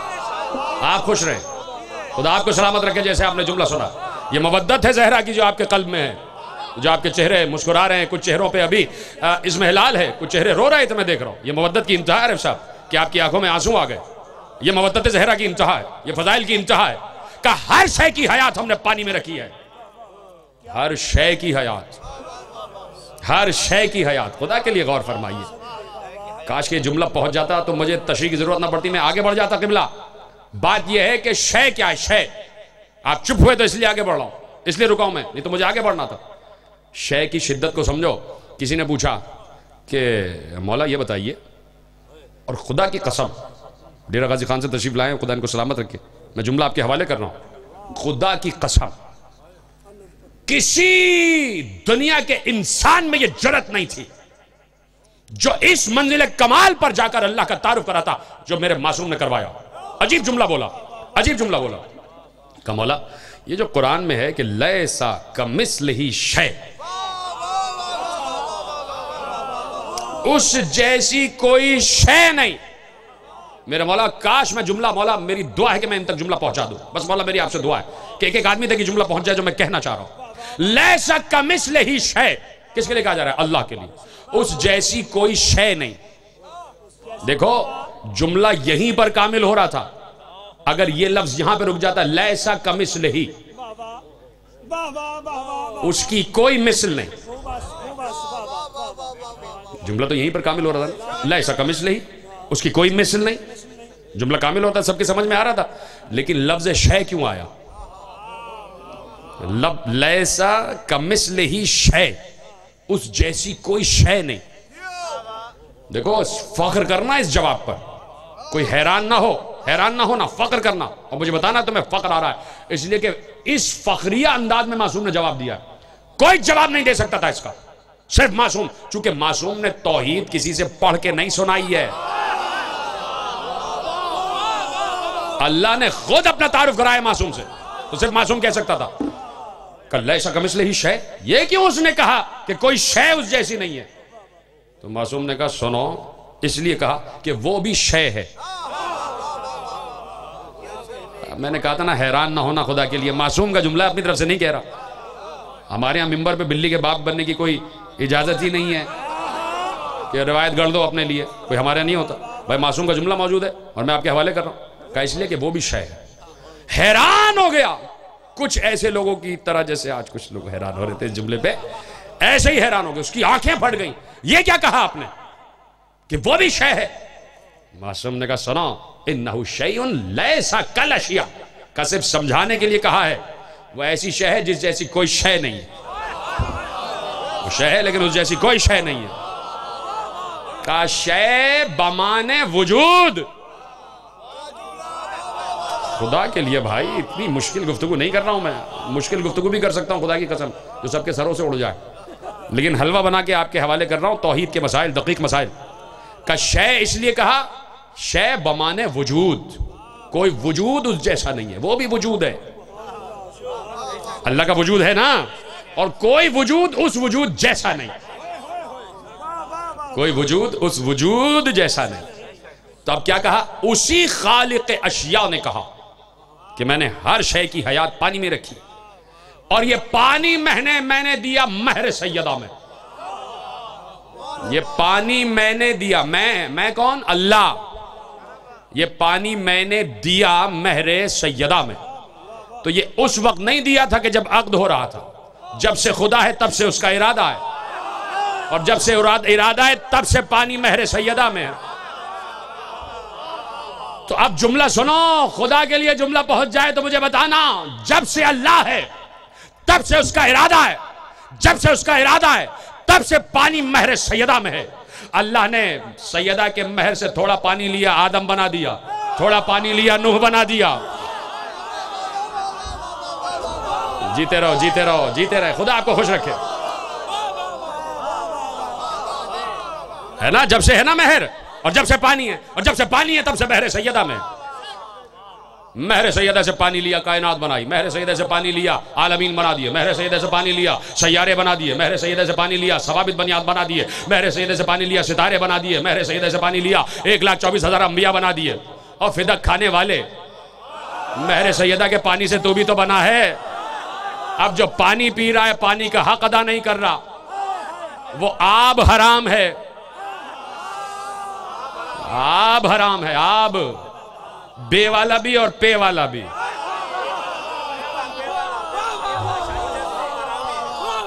اور جو میرے بھائی نے مصرے پڑھے کہ نمک بھی مہر سیدہ میں ہے۔ اب جو نمک کھا کر حق کے سیدہ کھا جائے۔ جو نمک بھی کھا رہا اور حق سیدہ ادا نہ کرے۔ زمین، یہ زمین مہر سیدہ میں ہے۔ یہ ذرات زمین، یہ زمین مہر سیدہ میں ہے۔ یہ صرف میرے مکتب کی روایت نہیں ہے، مقتدر علماء علیہ سنت لکھائی ہے کہ اللہ نے پانی مہر سیدہ میں دیا، نمک مہر سیدہ میں دیا، زمین مہر سیدہ میں دی۔ چل رہے ہو زمین پر اکڑ اکڑ کر اور حق زہرہ ادا نہیں کر رہے۔ کتنے باغی ہو؟ باغی کتنے ہو؟ باغی کہتے ہیں باغ کھانے والے کو۔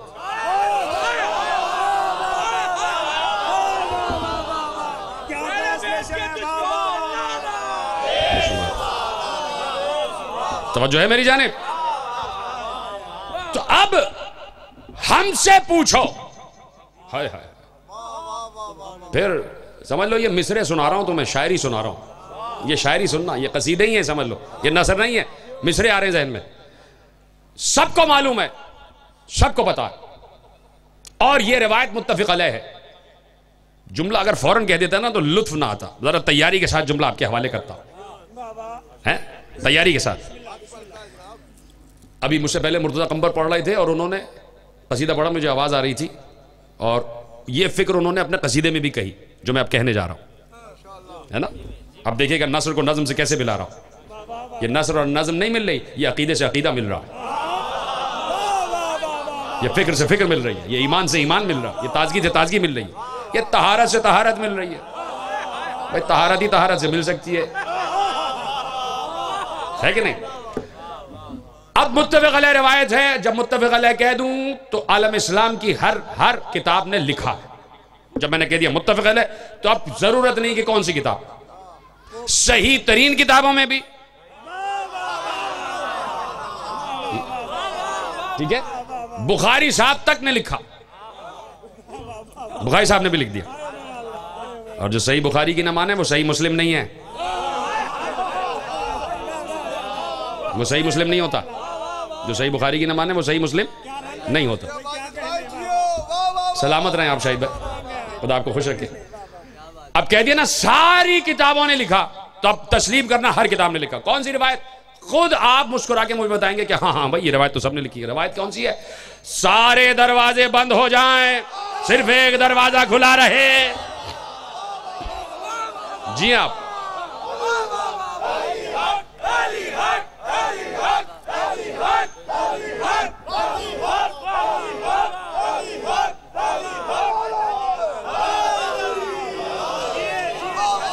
متفق علیہ روایت، متفق علیہ روایت۔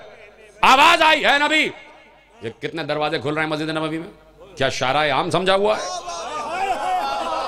جس کی مرضی آتی ہے، منہ اٹھاتا ہے اور ہمارے گھر سے ہوتا ہوا جاتا ہے۔ ہمارے گھر کو کیا موٹر وے سمجھا ہوا ہے؟ کیا سمجھا تم نے؟ جس عالم میں ہوتے ہو، ہمارے گھر سے ہوتے ہوئے گزر جاتے ہو۔ اللہ کا گھر گزرگاہ نہیں ہو سکتا۔ یہ اللہ کے گھر کے پروٹوکول کے خلاف ہے۔ یہ اللہ کے گھر کے ادب کے خلاف ہے، تقدس کے خلاف ہے۔ اللہ کا گھر کسی کی گزرگاہ نہیں ہے۔ مسجد کی دیتے لکھا ہے کہ جب مسجد میں آؤ تو پہلے دو رکعت تحیت مسجد کی نماز ادا کرو۔ فریضہ نماز پڑھنے سے پہلے تحیت مسجد کی دو رکعت نماز ادا کرو گے۔ اللہ کے گھر میں تم آئے اتنی احترام والی جگہ ہے مسجد۔ سجدہ کرنے کی جگہ کسے؟ اللہ کو سجدہ ہو رہا ہے۔ کہے نبی، یہ کیا بھائی؟ جو جس عالم میں ہوتا ہے، منہ اٹھاتا ہے ہمارے گھر سے، یوں نکلتا ہے اور بھاگ، آگے چلتا چلا جاتا ہے۔ پیچھے سے آؤ، جہاں جانا ہے، پچھلے دروازے سے جاؤ۔ شارٹ کٹ لیتے ہو کہ یہاں سے جائیں گے، سامنے بازار چلے جائیں گے۔ خبردار، سارے دروازے بند کرو۔ صرف ایک دروازہ کھلا رہے گا۔ جیتے رہو جیتے رہو جیتے رہو۔ کا صرف ایک دروازہ کھلا رہے گا۔ اور وہ دروازہ ہے میری کنیز کا دروازہ۔ اور وہ بھی میری کنیز خاص احمد اللہ علی و زہرا کے گھر کا دروازہ ہے جو کھلا رہے گا۔ تاریخ نے کیا لفظ ادا کروں؟ تاریخ نے کچھ دائیں بائیں بھی باتیں کی۔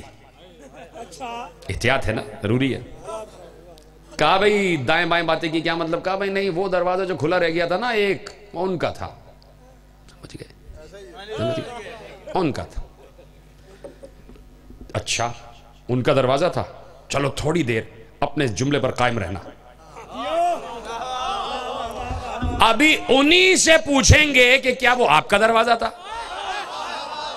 کیا بیٹھے؟ میں اتنی دلچسپ تقریر آپ کے حوالے کر رہا ہوں۔ پیچھے والے بھی میرے ساتھ ہونا۔ یہ تو خدا خوش رکھے سب آگے والے جو بیٹھے۔ پیچھے والوں کو خدا سلامت رکھے، خدا خوش رکھے۔ انہی سے پوچھتے ہیں کہ کیا وہ دروازہ آپ کا تھا؟ جو آج کا مورخ لکھ رہا ہے۔ انہی سے پوچھ لیتے۔ اچھا جیسے ہی حکم آیا، سب مشہور باتیں ہیں، بچپن سے سن رہے ہو۔ کوئی ایسی بات نہیں ہے کہ آپ کی سمجھ میں نہ آئے۔ بالکل آسان بات کر رہا ہوں۔ کسی نے پوچھا، یا رسول اللہ، یہ ایک کھڑکی کی اجازت ہے؟ ایک کھڑکی کھول لوں؟ رسول اللہ کہا، نہیں، کوئی کھڑکی نہیں۔ کیا رسول اللہ، ایک سوراخ؟ کہا، بالکل نہیں۔ کہا نہیں؟ کہا، اس لیے کہ میرا حکم نہیں ہے۔ اللہ نے کہا ہے، بند ہو جائے۔ اللہ نے کہا۔ آپ سنیے گا جملہ۔ مورخ نے لکھا کہ کس لیے سارے دروازے بند کروائے اور ایک دروازہ کھلا رکھا۔ کہا بھائی اس لیے کہ پتہ نہیں کس کس حالت میں لوگ ہوتے تھے اور اس حالت میں اللہ کی مسجد سے گزر جاتے تھے۔ تو میرے عزیزو، یہاں گزرنے کا کوئی مسئلہ نہیں تھا۔ کیا کوئی سوراخ سے بھی گزرتا ہے؟ اگر گزرنے ہی کی بات ہوتی تو انہوں نے یہ کیوں کہا کہ ایک سوراخ کی اجازت دے دیجیے کیونکہ سوراخ سے بھی کوئی آیا جایا کرتا ہے۔ سوراخ سے تو ایک ہی چیز آتی ہے، اس کو سانپ کہتے ہیں۔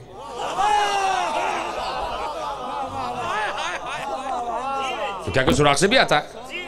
تو یہاں گزرنے کا مسئلہ نہیں تھا، خدا کے لیے میرا جملہ سمجھنا۔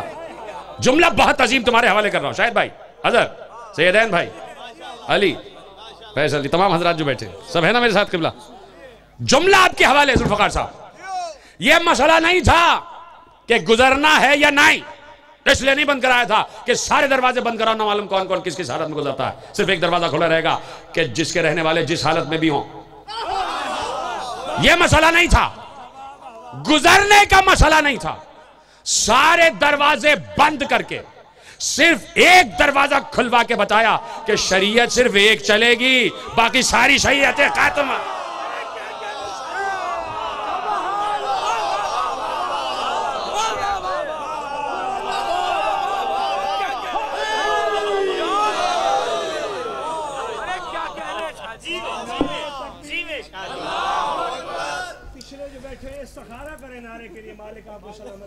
سلامت۔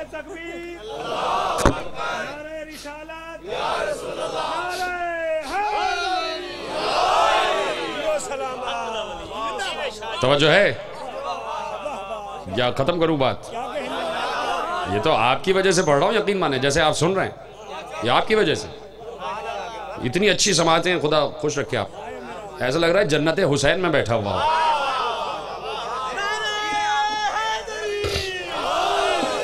ایسا لگ رہا ہے؟ آل محمد کی جنت میں بیٹھے ہوئے۔ اتنا لطف آ رہا ہے۔ توجہ ہے میرے ساتھ ہے نا سارے؟ تو مسئلہ کیا تھا؟ کہ ایک دروازہ کھلا رہ صرف اس لیے تھا کہ بتایا کہ شریعت ادھر اس گھر کی چلے گی۔ یہ ایک دروازہ شریعت یہاں کی چلے گی۔ سارے دروازے بند کر کے بتا دیا کہ اب شریعتیں کہیں کی نہیں چلیں گی۔ اگر کبھی بنانا چاہو تو کا صرف ایک گھر کی شریعت، صرف اس دروازے کی۔ علی و زہرہ کا دروازہ مسجد میں کھلا ہوا ہے یہیں کی شریعت چلے گی۔ چونکہ یہ توجہ، چونکہ یہ دروازہ مسجد میں کھلا ہوا ہے، ہر وقت ان کو خبر ہے کہ مسجد میں کیا ہو رہا ہے۔ تو اب کسی اور سے نہ پوچھنا کہ نبی نماز کیسے پڑھتے تھے۔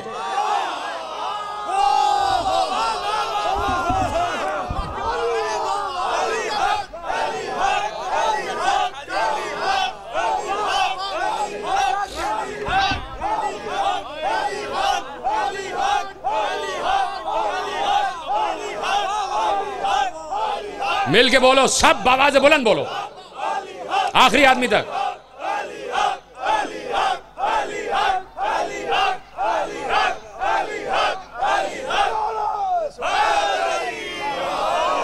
توجہ ہے سب کی میرے ساتھ؟ اب ان سے پوچھنا کہ نبی کس وقت روزہ کھولتے تھے؟ کیونکہ ان کا دروازہ مسجد میں کھلا ہوا ہے۔ یہ مسلسل رسول کو دیکھ رہے ہیں۔ کس وقت نماز ہوتی ہے، کیسے ہوتی ہے، کتنی دیر ہوتی ہے، ساتھ ہوتی ہے، الگ ہوتی ہے۔ تو چونکہ علی اور زہرا کے گھر کا دروازہ مسجد میں کھلا رہا، تو وہ دن ہے اور آج کا دن۔ یہ عارف کاظمی صاحب بھی بنا رہے نا امام بارگاہ۔ خدا ان کی توفیقات میں اضافہ فرمائے۔ اور یزر حیدری بھی بنائیں گے انشاءاللہ۔ خدا ان کو بھی زمین عطا فرمائے۔ بڑے بڑے صاحبان مودت لوگ بیٹھے ہیں جن کی نیتیں ہیں۔ تو جہاں پر بھی بنی ہوئی ہے مسجد، جب میرے مکتب کی کوئی مسجد بنتی ہے، بغیر امام بارگاہ کے نہیں بنتی۔ مسجد اور امام بارگاہ ساتھ ساتھ، مسجد، امام بارگاہ ساتھ، مسجد، امام بارگاہ ساتھ۔ کوئی پوچھے کہ بھائی یہ مسجد اللہ کے گھر کے ساتھ، حسین کا گھر کیوں بنایا ہوا ہے؟ دروازہ ذرا سا جملہ۔ کوئی روایت نہیں ہے کہ پیغمبر نے کہا دروازہ بند کرو۔ دروازہ کھولے رکھا رسول نے۔ تو ہم ہی تو ہیں سنت رسول پر عمل کرنے والے۔ ہم نے تو بند نہیں کیا آج تک۔ تو ہم سے نہ پوچھو کیوں کھولا ہے، ان سے پوچھو بند کیوں کر دیا۔ جملہ پہنچا کہ نہیں پہنچا؟ اب آپ نے لکھا کہ ان کا دروازہ تھا۔ شاید بھائی، تو آپ کی اجازت ہے کہ انہی سے پوچھا جائے کہ کیا وہ آپ کا دروازہ تھا؟ اجازت ہے قبلہ اقبال صاحب؟ خدا آپ کو صحت دے، سلامت رکھے۔ خدا آپ کی رونق میں اضافہ فرمائے، آپ کے رزق میں اضافہ فرمائے۔ جتنی پریشانیاں ہیں سب اہل بیت کے حوالے کر دے۔ خدا آپ کو خوش رکھے۔ صحت دے بیمار کربلا کے صدقے میں آپ کے۔ اوپر سایہ رہے چادر زہرا کا۔ کیسی آپ نے مجلس سجائی ہے خدا؟ قبول فرمائے اور قبولیت کی سند مل گئی آپ کو۔ اب انہی سے پوچھتے ہیں۔ پیغمبر، مسجد نبوی کے ممبر پر بیٹھے ہوئے تھے اور سورہ نور کی آیتیں تلاوت کر رہے تھے۔ اپنی کتاب سے نہیں پڑھ رہا اپنی کتاب سے نہیں پڑھ رہا علامہ جلال الدین سیوتی نے لکھا ہے، بڑی سامنے کی بات ہے۔ چھ راویوں نے اور لکھا ہے۔ اور چھ کے چھ علماء اہل سنت ہیں۔ میں اس لیے علماء اہل سنت کا بہت احترام کرتا ہوں کہ انہوں نے فضائل اہل بیت میں کوئی کمی، کٹوتی نہیں کی۔ باہر والے سمجھ رہے ہیں، گھر والوں کو سمجھ میں نہیں آ رہا۔ اس لیے۔ حضرت اب لکھا انہوں نے کہ پیغمبر سورہ نور کی آیتیں تلاوت کر رہے تھے۔ کوئی ناراض تو نہیں ہے مجھ سے؟ سب راضی ہے بسم اللہ الرحمن الرحیم۔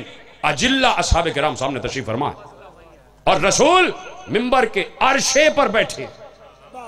عرش والا عرشے پر ہی بیٹھتا ہے۔ عرشے پر بیٹھے ہیں۔ پیغمبر کی نگاہ ایک ایک سامے پر، ایک ایک صحابی پر، ایک ایک یار پر، سب پر۔ سب کو دیکھ رہے ہیں رسول۔ اور سورہ نور کی آیتیں اللہ کا رسول تلاوت کر رہا ہے۔ بسم اللہ الرحمن الرحیم۔ اللہ نور السماوات والارض۔ مثل نورہ کمشکات فیہا مصباح المصباح فی زجاجت الزجاجت کانہا کوكب دری یوقد من شجرت مبارکت زیتونت لا شرقیت ولا غربیت یکاد زیتها یزیع ولو لم تمسسه نار نور علی نور۔ یحد اللہ لنورہ من یشاء۔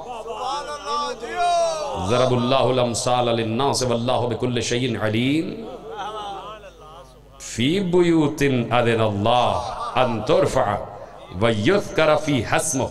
یسبح لہو فیہا بالغدو والآصال یہاں تک رسول پہنچے.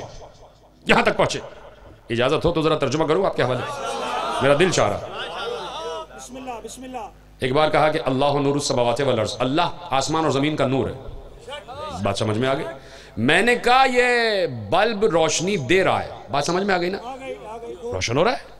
اب یہ تھوڑی ہوگا کہ بھئی دیکھو یہ بلب روشنی دے رہا ہے۔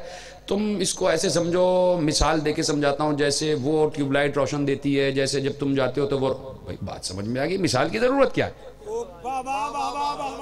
میں کہہ رہا ہوں یہاں روشنی ہو گئی۔ آپ کہہ رہے ہیں ہاں روشنی ہے۔ اب مثال کی کیا ضرورت ہے سیدین بھائی؟ مثال کی ضرورت ہی نہیں ہے۔ اللہ نے کہا، اللہ نور السماوات والارض۔ اللہ آسمان اور زمین کا نور ہے۔ بات سمجھ میں آ گئی؟ تو اللہ کہہ رہا ہے مسل و نور ہی، میرے نور کی ایک مثال ہے۔ پروردگار، بات سمجھ میں آ گئی کہ تو آسمان و زمین کا نور ہے۔ بات یا، پروردگار، سمجھ میں آ گئی۔ یا رب، بات سمجھ میں آ گئی کہ تو آسمان و زمین کا نور ہے۔ اب مثال کیوں دے رہا ہے؟ کہ نہیں، مثال کے بغیر تو کام مکمل ہوگا نہیں۔ مسل و نور ہی، اس کے نور کی ایک مثال ہے۔ پچھلے سال میں نے بات کہی تھی، بات دہرا نہیں رہا، صرف مجھے پہنچنا ہے اس گھر تک، جس گھر کے دروازہ کھلا ہوا تھا۔ صرف اس تک پہنچنا ہے۔ کہا، میرے نور کی ایک مثال ہے۔ اور مثال کیا ہے؟ پروردگار، تیرے نور کی مثال تو اتنی ہی بڑی ہوگی جتنا بڑا تو ہے۔ جتنا بلند تو ہے، جتنا اکبر تو ہے، جتنا اعلیٰ تو ہے، جتنا عرفہ تو ہے، اتنی بڑی مثال ہوگی۔ اب ہم خوش ہو گئے، متوجہ ہو گئے۔ توجہ ساری اللہ کی طرف۔ دیکھو کیا مثال دیتا ہے۔ کتنی بڑی مثال ہوگی۔ اللہ کی مثال۔ کتنی بڑی مثال ہوگی۔ کم مسئلہ نور ہی کم اشکاتن فیہا مصباحن میرے نور کی مثال ایسی ہے جیسے ایک چراغ۔ وہ ہمارے تو دل ٹوٹ گئے۔ کہ یا اللہ، تیرا نور اور ایک چراغ۔ کا سمجھو، چراغ اپنے لیے روشن ہوتا ہے۔ چراغ اپنے لیے روشن ہوتا ہے۔ ہم نے کہا ایک چراغ کی مثال ہے ہماری۔ اور وہ چراغ ایسا ہے کہ اس پر ایک شیشہ چڑھا ہوا ہے۔ اور جب اس پر شیشہ چڑھا، وہ چراغ کوکب دری کی طرح روشن ہو گیا۔ اس کا مطلب ہے کہ جب تک چراغ تھا اکیلا، کوکب دری نہیں تھا۔ جب اس پہ شیشہ آیا، تب کوکب دری کی طرح روشن ہو گیا یعنی پوری دنیا اس کے وجود سے روشن ہو گئی۔ یا اللہ، یہ تیری بات سمجھ میں نہیں آئی، مثال سمجھ میں نہیں آئی۔ آواز آئی خدا کی کہ پوچھو ہمارے منصوص، مخصوص، مصطفیٰ، مرتضی، مشتبہ، مختار بندوں سے پوچھو۔ تو پوچھنے والے نے پوچھا، یہ مثال کیا ہے؟ یہ چراغ کیا ہے؟ اس کے اوپر شیشہ کیا ہے؟ شیشے کے بعد کوکب دری کیا ہے؟ بات سمجھ میں نہیں آئی۔ کہ سنو، اللہ تھا، کچھ نہیں تھا، وہ صرف اپنے لیے تھا۔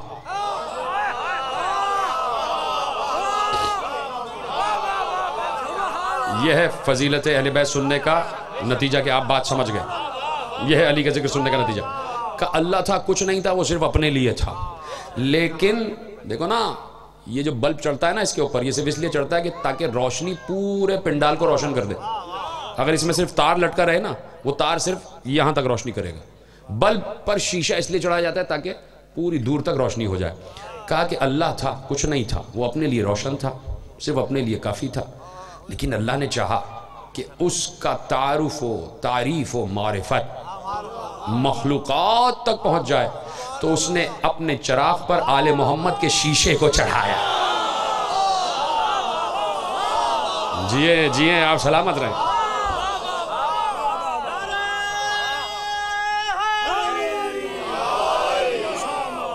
بات پہنچ گئی؟ ختم ہو رہی ہے بات۔ میرے ساتھ ساتھ چلنا۔ کہ یہ توحید کا چراغ، اللہ کہہ رہا ہے، قرآن کی آیت کا ترجمہ کر رہا ہوں۔ یہ توحید کا چراغ، فی بیوتن۔ ان گھروں میں روشن ہے، جن گھروں کو ہم نے بلند رکھنے کا حکم دیا ہے۔ یہ چراغ توحید ان گھروں میں روشن ہے، جن گھروں کو ہم نے بلند رکھنے کا حکم دیا ہے، حکم دیا ہے۔ اور ان گھروں کی پہچان یہ ہے کہ ان گھروں میں صبح و شام ہماری تسبیح ہوتی ہے، ہمارے اسم کا ذکر ہوتا ہے، ہر وقت ہمارا تذکرہ ہوتا ہے۔ جیسے ہی پیغمبر سیوتی لکھ رہے ہیں، جیسے ہی پیغمبر آیت کے اس ٹکڑے پر پہنچے گے فی بیوتن اذن اللہ ان ترفع، یہ توحید کا چراغ ان گھروں میں روشن ہے، جن گھروں کو اللہ نے بلند رکھنے کا حکم دیا ہے۔ بیچ میں سے صدیق اکبر کھڑے ہوئے۔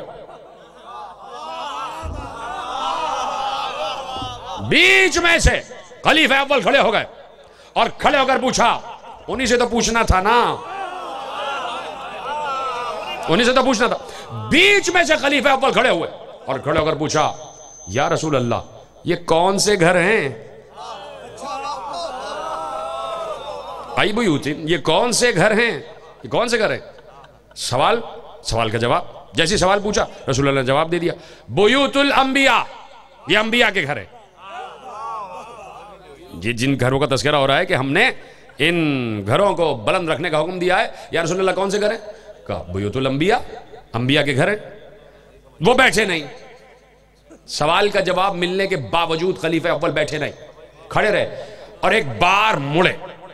اور مڑ کے علی اور زہرہ کے گھر کی طرف اشارہ کر کے کہا، یا رسول اللہ، کیا یہ گھر بھی انہی گھروں میں ہے؟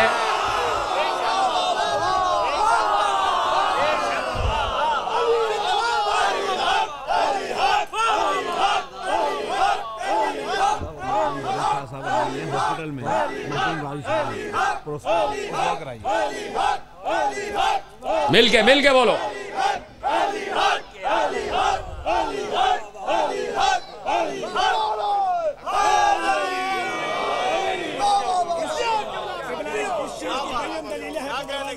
جی جی۔ پہنچ گئے آپ۔ یہی ہوتی ہے ذہانت۔ اور سب پہنچ گئے، خدا سلامت رکھے سب کو۔ مڑ کے کہا، یا رسول اللہ، کیا یہ گھر بھی انہی گھروں میں ہے؟ کیا یہ دروازہ بھی انہی دروازوں میں ہے؟ اس کا مطلب ہے ایک ہی دروازہ کھلا تھا۔ اگر اپنا کھلا ہوتا تو اپنے بارے میں پوچھ لیتے۔ یہ گھر بھی انہی گھروں میں۔ سوال پوچھنے والا یار جیسا، جواب دینے والا صاحب جیسا۔ سوال پوچھنے والے نے پوچھا کہ یا رسول اللہ، کیا یہ گھر بھی انبیاء کے گھروں میں سے ایک بات پیغمبر نے کہا؟ ہاں یہ گھر ان گھروں میں سے تو ہے، لیکن ان گھروں سے افضل ہے۔ جیتے رہے آپ؟ ان گھروں سے افضل ہے۔ یہ گھر ان گھروں سے افضل من افاضلہا ان گھروں سے افضل ہے۔ تو ایک ہی دروازہ تھا جو کھلا ہوا تھا مسجد نبوی میں۔ اب دروازہ تھا زہرا کے گھر کا دروازہ۔ زہرا کے گھر کا دروازہ تھا۔ اجازت ہے کچھ پڑھوں؟ یہ میرے دل سے بہت قریب ہے نا اقبال صاحب۔ اور پھر علیل بھی ہیں تو میں چاہتا ہوں ان کا دل ذرا سا اور بڑھ جائے اور قوت آ جائے۔ اجازت ہے ایک دروازہ تھا جو کھلا ہوا تھا۔ اور وہ کس کا دروازہ تھا؟ زہرا کے گھر کا دروازہ۔ تو اگر اجازت ہے تو کچھ شعر آپ کے حوالے کر زہرا کے در کی عظمت کو گستاخ زمانہ کیا جانے۔ یہ میں ہر جگہ نہیں پڑھوں گا جب یہ نہ ہو کہ آپ مجھے بلاؤ اور کہو کہ قصیدے ہی پڑھتے جاؤ۔ یہ مجھ سے کہا ہے تو میں پڑھ رہا ہوں، دو چار شعر۔ زہرا کے در کی عظمت کو گستاخ زمانہ کیا جانے؟ جو در کو جلانا جانے ہے، وہ آگ بجھانا کیا جانے؟ وہ کیسا مجاہد، کیسا جری، وہ کیسی تیغ اور کیا تلوار، جو گھر والی سے ڈرتا ہو، میدان کو جانا کیا جانے۔ پڑھ دوں شیر، آپ کے حالے کروں؟ جس در سے ایک صدا پر ہی جھولی بھر بھر کے ملتا ہو۔ اس در پر جو بھی آ جائے، وہ در در جانا کیا جانے۔ ایک ہی تو دروازہ ہے میرے عزیز، تو یہی تو ہم کہہ رہے ہیں، چودہ سو برس سے عالم اسلام سے۔ ایک دروازہ جو مسجد نبوی میں کھلا ہوا ہے، وہ دروازہ وہ ہے جہاں سے بات شروع کی تھی، وہیں ختم ہو رہی ہے۔ وہ دروازہ وہ ہے کہ جہاں سے رزق بھی تقسیم ہو رہا ہے۔ میرے ساتھ ہیں یا چلے گئے؟ جہاں سے حیات بھی بٹ رہی ہے، جہاں سے اولاد بھی بٹ رہی ہے، یہ جملہ میں نے اپنی طرف سے نہیں کہا کہ جہاں سے اولاد مل رہی ہے، یہ ہے وہ دروازہ زہرا کا۔ صرف ہم نہیں جا رہے در زہرا پر اولاد مانگنے۔ بھائی مسائب ابھی شروع نہیں کیا میں نے۔ ابھی فضائل کا آخری جملہ تو پڑھ لے دو صرف ہم نہیں ہیں جو در زہرا پر جاتے ہیں اور دعا مانگتے ہیں کہ اولاد دے دو۔ بات یہ کہ ایک مرتبہ اللہ نے کہا، اے نبی، ان سے کہو کہ تم اپنے بیٹوں کو لاؤ۔ سمجھ گئے ہو تو بول پڑو نا بھائی۔ تم اپنے بیٹوں کو لاؤ، ہم اپنے بیٹوں کو لائیں۔ تم اپنی عورتوں کو لاؤ اپنی عورتوں کو لائیں۔ تم اپنے نفسوں کو لاؤ، ہم اپنے نفسوں کو لائیں۔ وہ چلے اپنے بیٹے لینے۔ عیسائی چلے اپنے بیٹے لینے۔ رسول چلے اپنے بیٹے لینے۔ وہ اللہ جو یہ کہہ رہا ہے کہ اے رسول تم کہو کہ ہم اپنے بیٹوں کو لائیں، تم اپنے بیٹوں کو لاؤ۔ اس اللہ کو یہ نہیں معلوم کہ رسول کا کوئی بیٹا نہیں ہے۔ کیا نہیں پتا کہ رسول کا کوئی بیٹا نہیں ہے؟ پھر کیوں کہہ رہا ہے کہ رسول ان سے کہہ دو کہ ہم اپنے بیٹوں کو لائیں؟ یار اللہ، پروردگار، رسول کے تو کوئی بیٹا ہی نہیں ہے۔ تو نے یہ کیسے کہہ دیا کہ تم کہو کہ ہم اپنے بیٹوں کو لا رہے ہیں؟ تو اب رسول کو بیٹے چاہیے۔ رسول کو بیٹے چاہیے۔ اس لیے کہ اللہ نے کہا ہے تم اپنے بیٹوں کو لے کے جاؤ۔ اس اللہ نے کہا ہے جسے پتا ہے کہ اس کا کوئی بیٹا نہیں ہے۔ وہ اللہ کہہ رہا ہے، اے نبی، تم اپنے بیٹوں کو لے آؤ۔ تو رسول کو بیٹے چاہیے۔ کس لیے چاہیے؟ مباہلے کی جنگ جیتنے کے لیے ذرا ان ہندوؤں کو بتا دو، ان پاگلوں کو بتا دو کہ اسلام کے پاس جیتنے کے لیے صرف ایک ہی میدان نہیں ہوتا۔ اسلام تلوار کا محتاج نہیں ہے۔ اسلام کو اپنی بات منوانے کے لیے لانت کا میدان بھی ہے۔ اسلام کے پاس کئی میدان ہیں۔ اور کہو اپنے ملک کے پرائم منسٹر سے کہ ساری فوج ایک طرف، کوئی ایک ایسا میدان سجا لو جہاں چاروں طرف قناتیں لگی ہوئی ہوں، شامیانے لگے ہوئے اور چالیس سیدانیوں کو بیچ میں کھڑا کرو، کوئی دیکھے نہیں۔ اب وہ چالیس سیدانیاں جب اللہ سے دعا کریں گی، تو مملکتیں تباہ ہو جائیں گی۔ یہ پڑوسی کیا ہے؟ بڑا جملہ میں نے کہا ہے۔ سمجھے آپ؟ تو اسلام کے پاس ایک اور میدان ہے، وہ میدان کیا ہے؟ جھوٹوں پر اللہ کی لانت تو اب رسول کو چاہیے بیٹے۔ رسول کے پاس بیٹا تو ہے ہی نہیں۔ رسول کو چاہیے بیٹے۔ رسول واپس پلٹے۔ مباہلے کا لشکر تیار کرنا تھا، واپس پلٹے۔ مدینے کے ایک ایک دروازے پر نگاہ ڈالی، کہاں سے بیٹے ملیں گے؟ کہاں سے بیٹے ملیں گے؟ کہاں سے بیٹے ملیں گے؟ میں کہہ بھی گیا، آپ چپ بھی ہو گئے۔ ایک در زہرا تھا، جہاں پر آ کر کہا ہے بیٹی، مجھے بیٹے چاہیے۔ جیتے رہے آپ۔ جب اس در سیدہ پر آ کر رسول بیٹے مانگ رہا ہے، تو ہم نے مانگ لیا تو کون سی بدت ہو گئی؟ ہم نے مانگ لیا تو کون سا کفر ہو گیا؟ یہ زہرا زہرا، ہم سے پوچھا جائے۔ ہم سے، ہم گھر والے ہیں، ہم گھر والے، ہم۔ سادات سادات سے پوچھو، گھر والوں سے پوچھو۔ کتنی بیٹیاں تھیں؟ ہم سے پوچھو۔ گھر کی بات ہے، بیٹیاں باہر نہیں آتی ہم سے پوچھو۔ تمہیں کیا بتا تم تو گھر والے ہو ہی نہیں۔ ہم سے پوچھو کتنی بیٹیاں جو ہم بتائیں اس پر یقین کرو۔ آپ کے گھر کی بات میں آپ سے ہی پوچھوں گا نا۔ اور جو آپ کہیں گے اسی پہ یقین کرنا پڑے گا۔ تو گھر کی بات ہم سے پوچھی جائے۔ آئے تتھیر اتری۔ چادر میں کتنے تھے؟ ہم سے پوچھو۔ گھر کی بات ہے۔ کتنی بیٹیاں تھیں؟ ہم سے پوچھو۔ گھر کی بات۔ باقی جو تین تھیں وہ کون تھیں؟ گھر کی بات ہے۔ ہم سے پوچھو۔ وہ جناب خدیجہ کی بہن کی بیٹیاں تھیں۔ جب ان کی بہن کا انتقال ہو گیا، تینوں کو جناب خدیجہ نے پالا۔ تو جو جسے پالا جاتا تھا، وہ بھی بیٹی کہلاتی تھی۔ اور ابھی جو مرتضی قمبر نے بات کہی کہ اگر چار ہوتی، تو ایک ہی کیوں آئی حق لینے؟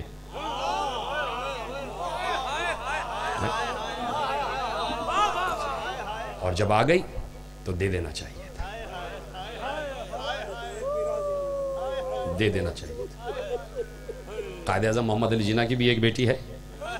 لیکن ایک افسوس ہوتا ہے قبلہ کہ ہمارے ملک کے صاحبان اقتدار یہ نہیں کر سکتے کہ ان کے ہاتھ جوڑ کے یہاں لے آئیں آپ ہمارے بانی پاکستان کی بیٹی ہیں۔ ان کا ادب و احترام ہونا چاہیے۔ میں صحیح بات کہہ رہا ہوں غلط بات کہہ رہا ہوں؟ ہے نا؟ یہ ضروری تھا۔ لیکن چونکہ کچھ بڑے سنت قائم کر گئے، تو اب کیا کیا جائے؟ تو آئی تھی تو دے دینا چاہیے مانگا تھا، دے دینا چاہیے۔ خدا سلامت رکھے جس نے ہائے کہا۔ آپ یقین مانیں اس وقت قلب حسین پرسکون ہو گیا کہ ہے کوئی میری ماں پہ رونے والا۔ مادر گرامی ہے، حسین ابن علی۔ سلامت رہو۔ یہ مودت زہرا ہے تمہارے قلب میں، جو میں روتے ہوئے چہرے دیکھ رہا ہوں۔ یقین رکھنا، تمہیں اگر رزق مل رہا ہے، در زہرا سے مل رہا ہے۔ تمہیں حیات مل رہی، پوری کائنات کو حیات دیتی۔ کبھی زہرا نے اپنے لیے کچھ مانگا نہیں ہے۔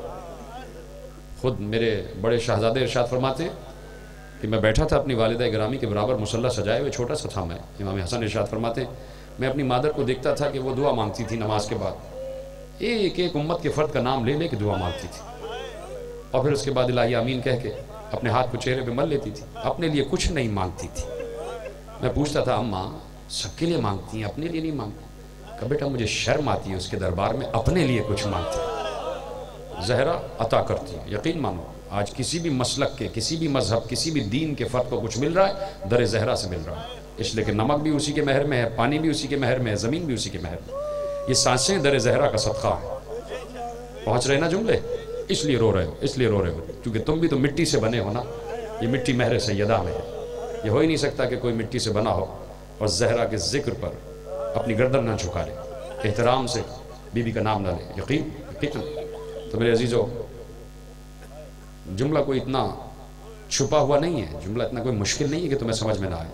کوئی نیا جملہ بھی نہیں ہے۔ روایت نے بالاتفاق لکھا کہ جو مقدمہ لڑا ہے شہزادی نے، نو گھنٹے کھڑے ہو کے لڑا۔ ہے دیکھو، آنسو نہ آئے پرواہ نہ کرنا۔ انتظار نہ کرنا کہ آنسو آئے۔ صرف اپنا چہرہ رونے والا بنا کے ہائے زہرا، ہائے حسین کہہ دینا۔ بس اس سے سکون مل جائے گا زہرا کے بچوں کو۔ نو گھنٹے کھڑی رہی، مقدمہ لڑا شہزادی نے، قضیہ لڑا دلیل دی شہزادی نے۔ اور ایک بار کسی نے بہت دنوں کے بعد، بہت عرصے کے بعد، ایک شخص کعبے کا طواف کر رہا تھا، طواف کر کے ایک طرف کھڑا ہو گیا دیکھا، ایک بی بی ہے، سر سے لے کر پیر تک نقاب میں ملبوس، کعبے کے پردے کو پکڑ کر فصیح عربی زبان میں، قرآن کی زبان میں اللہ سے استغاثہ اور مناجات کر رہی ہے۔ اس شخص نے پوچھا، یہ کون بی بی ہے؟ لوگوں نے کہا، پہچانتے نہیں؟ یہ زہرا کی کنیز فضا ہے۔ یہ بی بی فضا ہے۔ وہ شخص بعدب کھڑا ہو گیا۔ انتظار کر رہا تھا۔ اسے کچھ پوچھنا تھا۔ کنیز زہرا سے کچھ پوچھنا تھا۔ بی بی فضا، اپنے بچوں کے جلوں میں جیسے ہی جوار کعبہ سے باہر آئی یہ ہاتھ جوڑ کے کھڑا ہو گیا۔ اس نے سلام کیا۔ بی بی نے جواب سلام دیا۔ کہا، شہزادی، کی کنیز ہیں آپ؟ میں آپ سے ایک سوال پوچھنا چاہتا ہوں۔ کہا، پوچھو۔ کہا، پوچھنا یہ چاہتا ہوں کہ جب بنت رسول نے خطبہ دے لیا مجھے ایسے نہ دیکھو خدا کے لیے۔ کم از کم چہرے پہ اس میں حلال تو ہونا چاہیے نا، روتا ہوا چہرہ تو ہونا چاہیے۔ جب بی بی نے خطبہ دے لیا، تو بی بی اس کے بعد گئی کہاں؟ بی بی اس کے بعد کہاں گئے فضا نے سر پھیٹ لیا، چہرے پہ تماچے مار کر کہا، کیا بتاؤں کہاں گئے کہا جس وقت خطبہ دینے آ رہی تھی اپنے قدموں پہ چلتی ہوئی آ رہی تھی۔ جب خطبہ دے چکی تو لڑکھڑانے لگی، تھک چکی تھی، اپنے قدموں پہ کھڑی نہ رہی۔ ایک طرف سے میں نے سہارا دیا، ایک طرف سے ام ایمن نے سہارا دیا۔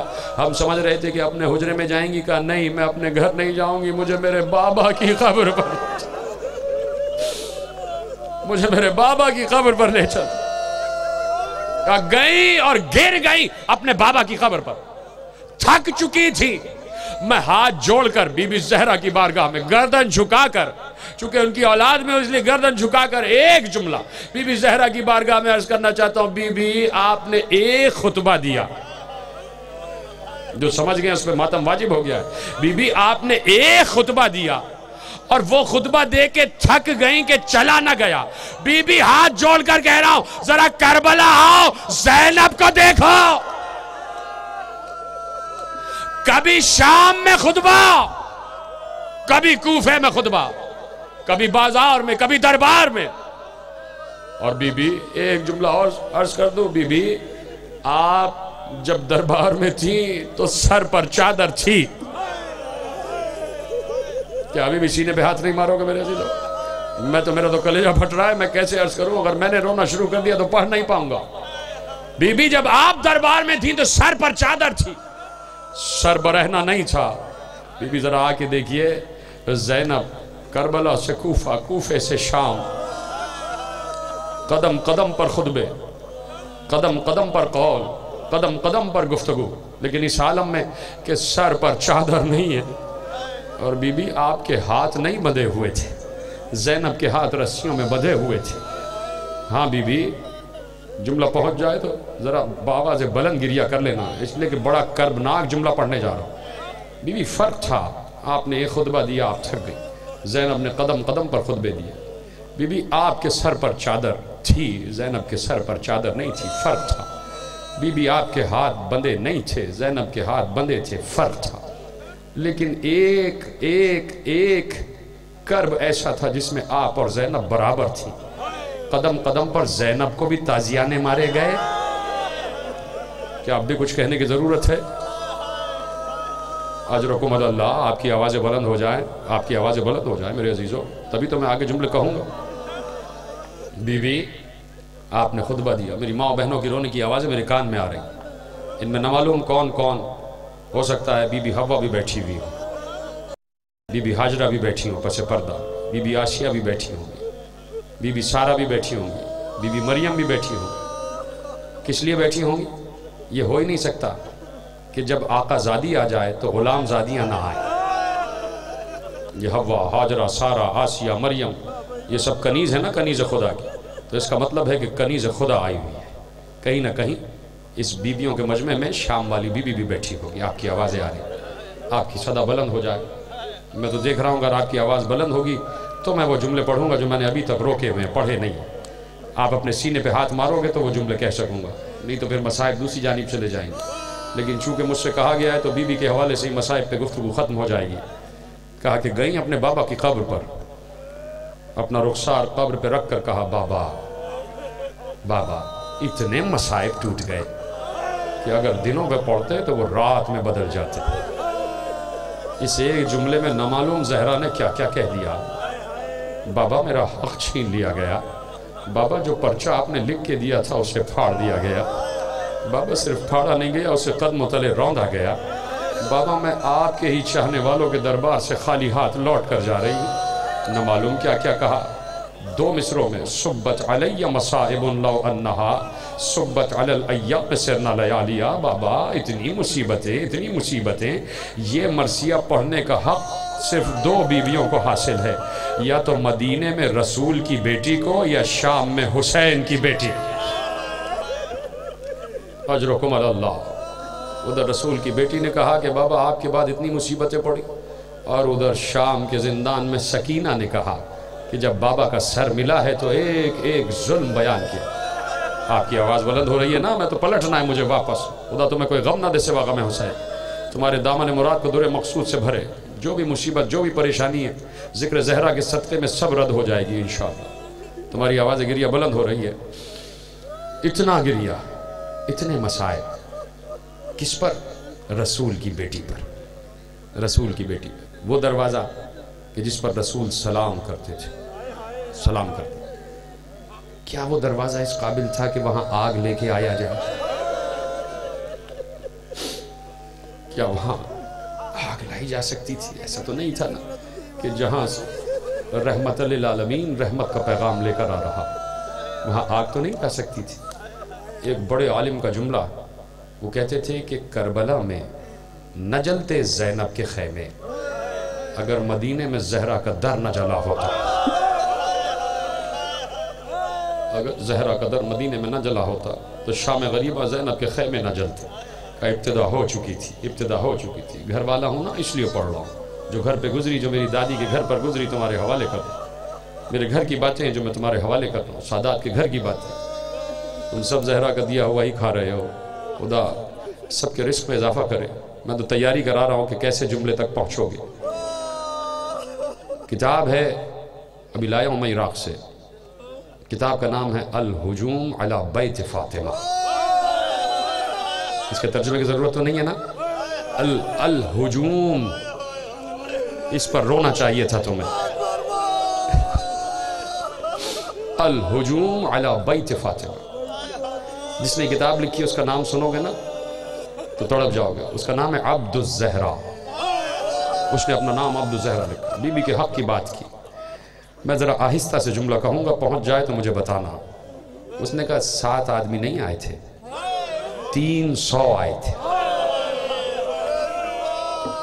تین سو آئے تھے سن لیا تم نے جملہ میں بڑی احتیاط سے پڑھنے کا عادی ہوں میرے عزیزوں جملے آپ تک پہنچ گئے ختم ہو گئی تقریر میرے عزیزوں آ گئی شب شہادت زہرا کی چھوڑ دیے میں نے سارے مسائب اس لیے کہ وہ مسائب بڑے کڑے مسائب ہیں وہ میں تین جماعت ثانی کو ہی پڑھتا ہوں جہاں پڑھتا ہوں آ گئی شب شہادت لکھا یہ ہے کہ دن بھر اکثر اس واقعے کے بعد اتنی کمزور ہو گئی تھی زہرا کہ اکثر وقت بستر پر گزرتا تھا۔ بچے آ کے پوچھتے اماں اماں آپ کبھی بھی اتنا استراحت نہیں کیا ہے آپ نے؟ اماں بہت تکلیف ہے آپ۔ پہلو پہ ہاتھ رکھی رہتی تھی۔ آہ آہ کرتی تھی۔ اذان کی آواز آتی تھی، کھڑی ہو جاتی تھی۔ اسی طرح نماز ادا کرتی تھی۔ بچے دیکھ رہے تھے ماں کی تکلیف کو۔ بچوں سے ایک دن برداشت نہ ہوا۔ حسن نے حسین کا ہاتھ پکڑا۔ حسین نے زینب ابن کلثوم کا ہاتھ پکڑا۔ ایک بار چاروں بچے چلے، قبر رسول پر آ گئے۔ قبر کو پکڑ کر کہا، نانا، ہماری اماں بہت بیمار ہے۔ نانا، اماں بہت بیمار ہے۔ اماں کو بہت تکلیف ہے۔ نانا، اماں کو شفا دے دیجیے۔ بچوں سے برداشت نہیں ہو رہا تھا۔ پتہ نہیں آپ کیسے سن رہے ہیں۔ بہت تکلیف۔ جب بھی کوئی کام کرتی، بس ہاتھ ایسے رہتا۔ لیکن سلام کرو زہرا پر۔ جیسے ہی علی گھر میں آتے، زہرا ہاتھ ہٹا لیتی تھی۔ زوجہ ہو تو ایسی ہو۔ کبھی علی کو تکلیف میں دیکھ نہیں سکتی تھی۔ علی پر ظاہر نہیں کیا کہ پہلو کا زخم ہے۔ پسلیاں ٹوٹ چکی تھی۔ ہاتھ کی ہڈی ٹوٹ چکی تھی۔ ہاتھ کی ہڈی زہرا کی ٹوٹ چکی تھی۔ اس لیے کہ کسی نے تازیہ نہ اتنی زور سے مارا تھا۔ ختم کر دی میں نے بات۔ شب شہادت آ گئی۔ علی میرے قریب آئی۔ علی قریب آ گئے۔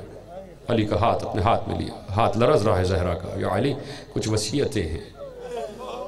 جی بنت رسول، کہا، یا علی، مجھے آپ ہی غسل دیجیے گا۔ آپ ہی کفن پہنائیے گا۔ آپ ہی قبر میں اتاریے گا۔ یا علی، میرا جنازہ تاریکی شب میں اٹھایا جائے۔ یا علی میں جنہیں نہیں چاہتی وہ میرے جنازے میں شریک نہ ہو۔ ایک بار ہاتھ کو مضبوطی سے پکڑ کر کہا، ماں ہے نا ماں کہا یا علی میرے بعد میرے بچوں کا خیال رکھی آواز تمہاری بلند نہیں ہو رہی جب پیچھے لوگ بیٹھے ہوئے؟ کیا ان کو رونا نہیں آتا؟ کہا یا علی میرے بعد میرے بچوں کا خیال رکھیے گا علی سسک سسک کر رو رہے تھے، گھٹ گھٹ کر رو رہے تھے۔ بنت رسول جیسا آپ کہہ رہی ہیں، ویسا ہی ہوگا۔ ایک بار کہا، یا علی، مجھ سے وعدہ کریں روز میری قبر پر آئیے گا۔ روز تلاوت قرآن میری قبر پر کیجیے گا۔ روز سلام و جواب کیجیے گا۔ جب وصیتیں ختم ہو گئیں، تو علی نے کہا، بنت رسول، علی بھی کچھ کہنا چاہتا ہے۔ کہا جی ارشاد فرمائی کہ جس وقت آپ کا عقد مجھ سے ہوا تھا، رسول اللہ نے یہ کہہ کے آپ کا ہاتھ میرے ہاتھ میں دیا تھا، علی، یہ میری امانت ہے۔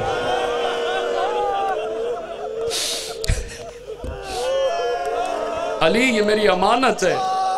جملہ سمجھ گئے تو سیدھے پہ ہاتھ رکھ لینا۔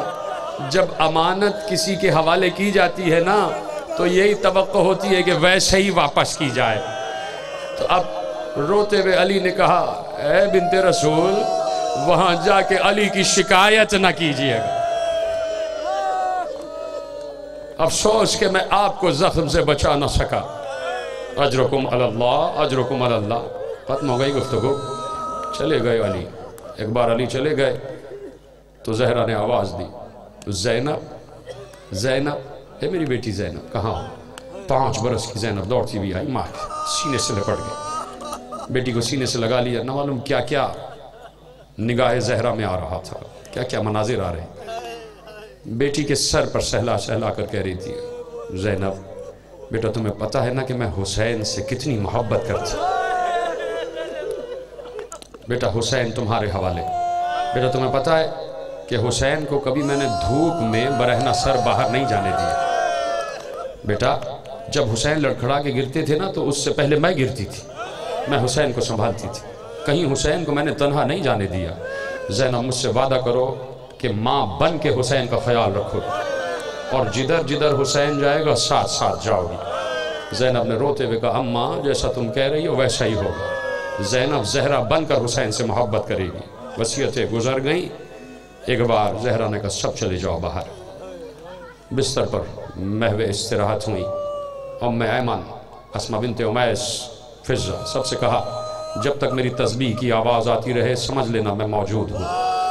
اور جب آواز آنا بند ہو جائے تو علی کو خبر کرنا، میرے بچوں کو خبر کرنا، بچوں کو بھیجا قبر رسول پر۔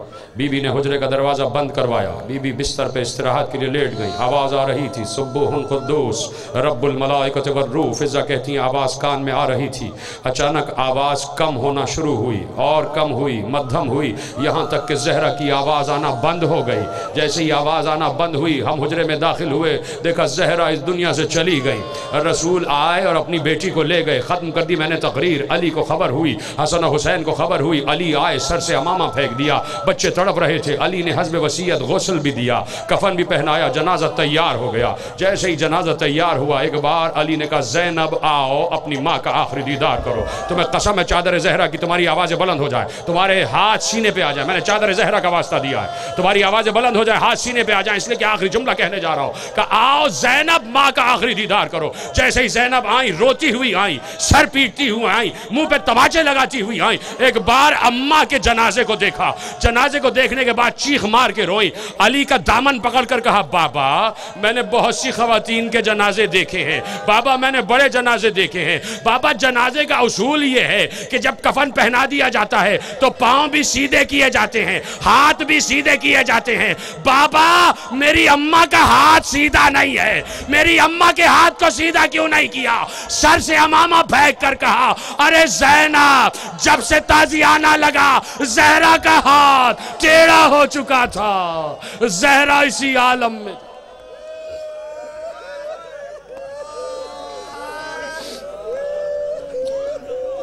الا لعنت اللہ علی القوم الظالمین۔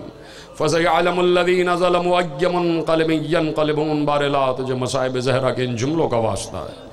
اقبال مہے کو صحت و شفا و تندرستی اور طول حیات عطا فرما۔ ان کی پریشانیوں کو دور فرما۔ پردگار ان کے بچے حیدر کو بہترین روزگار سے۔ سرفراز فرما اتنے مومنین اور مومنات فرش ازا پر بیٹھے ہیں، بار اللہ۔ یہ تیری بارگاہ میں دعا کے لیے ہاتھ بلند کیے ہوئے ہیں۔ یہ تیری کنیز خاص کا تذکرہ سننے آئے، بار اللہ۔ چاہے کوئی شیعہ ہو، چاہے کوئی سنی ہو۔ پروردگار، سب کی دعاؤں کو قبول فرما۔ پروردگار، حق زہرہ کا واسطہ، ہمارے رزق میں، روزگار میں، روزی میں ترقی اور برکت عطا فرما۔ مخدوم، راجو شاہ گردیزی پروردگار، علیل ہیں۔ بہت بڑا عزدار بہت بڑے ماتمدار بہت بڑے صاحب معرفت، مخدوم راجو شاہ گردیزی کے لیے دعا کریں۔ پروردگار بحق بیمار کربلا انہیں شفائے عاجل، صحت کامل اور طول حیات عطا فرما جتنے مومنین، مومنات فرش ازا پر بیٹھے ہیں اس سے پہلے کہ یہ فرش ازا سے اٹھے، ان کی دعاؤں کو قبول فرما دی پروردگار مہدی گردیزی صاحب علیل ہیں، ان کو شفا عطا فرما پروردگار، تجھے واسطہ محمد وال محمد کا۔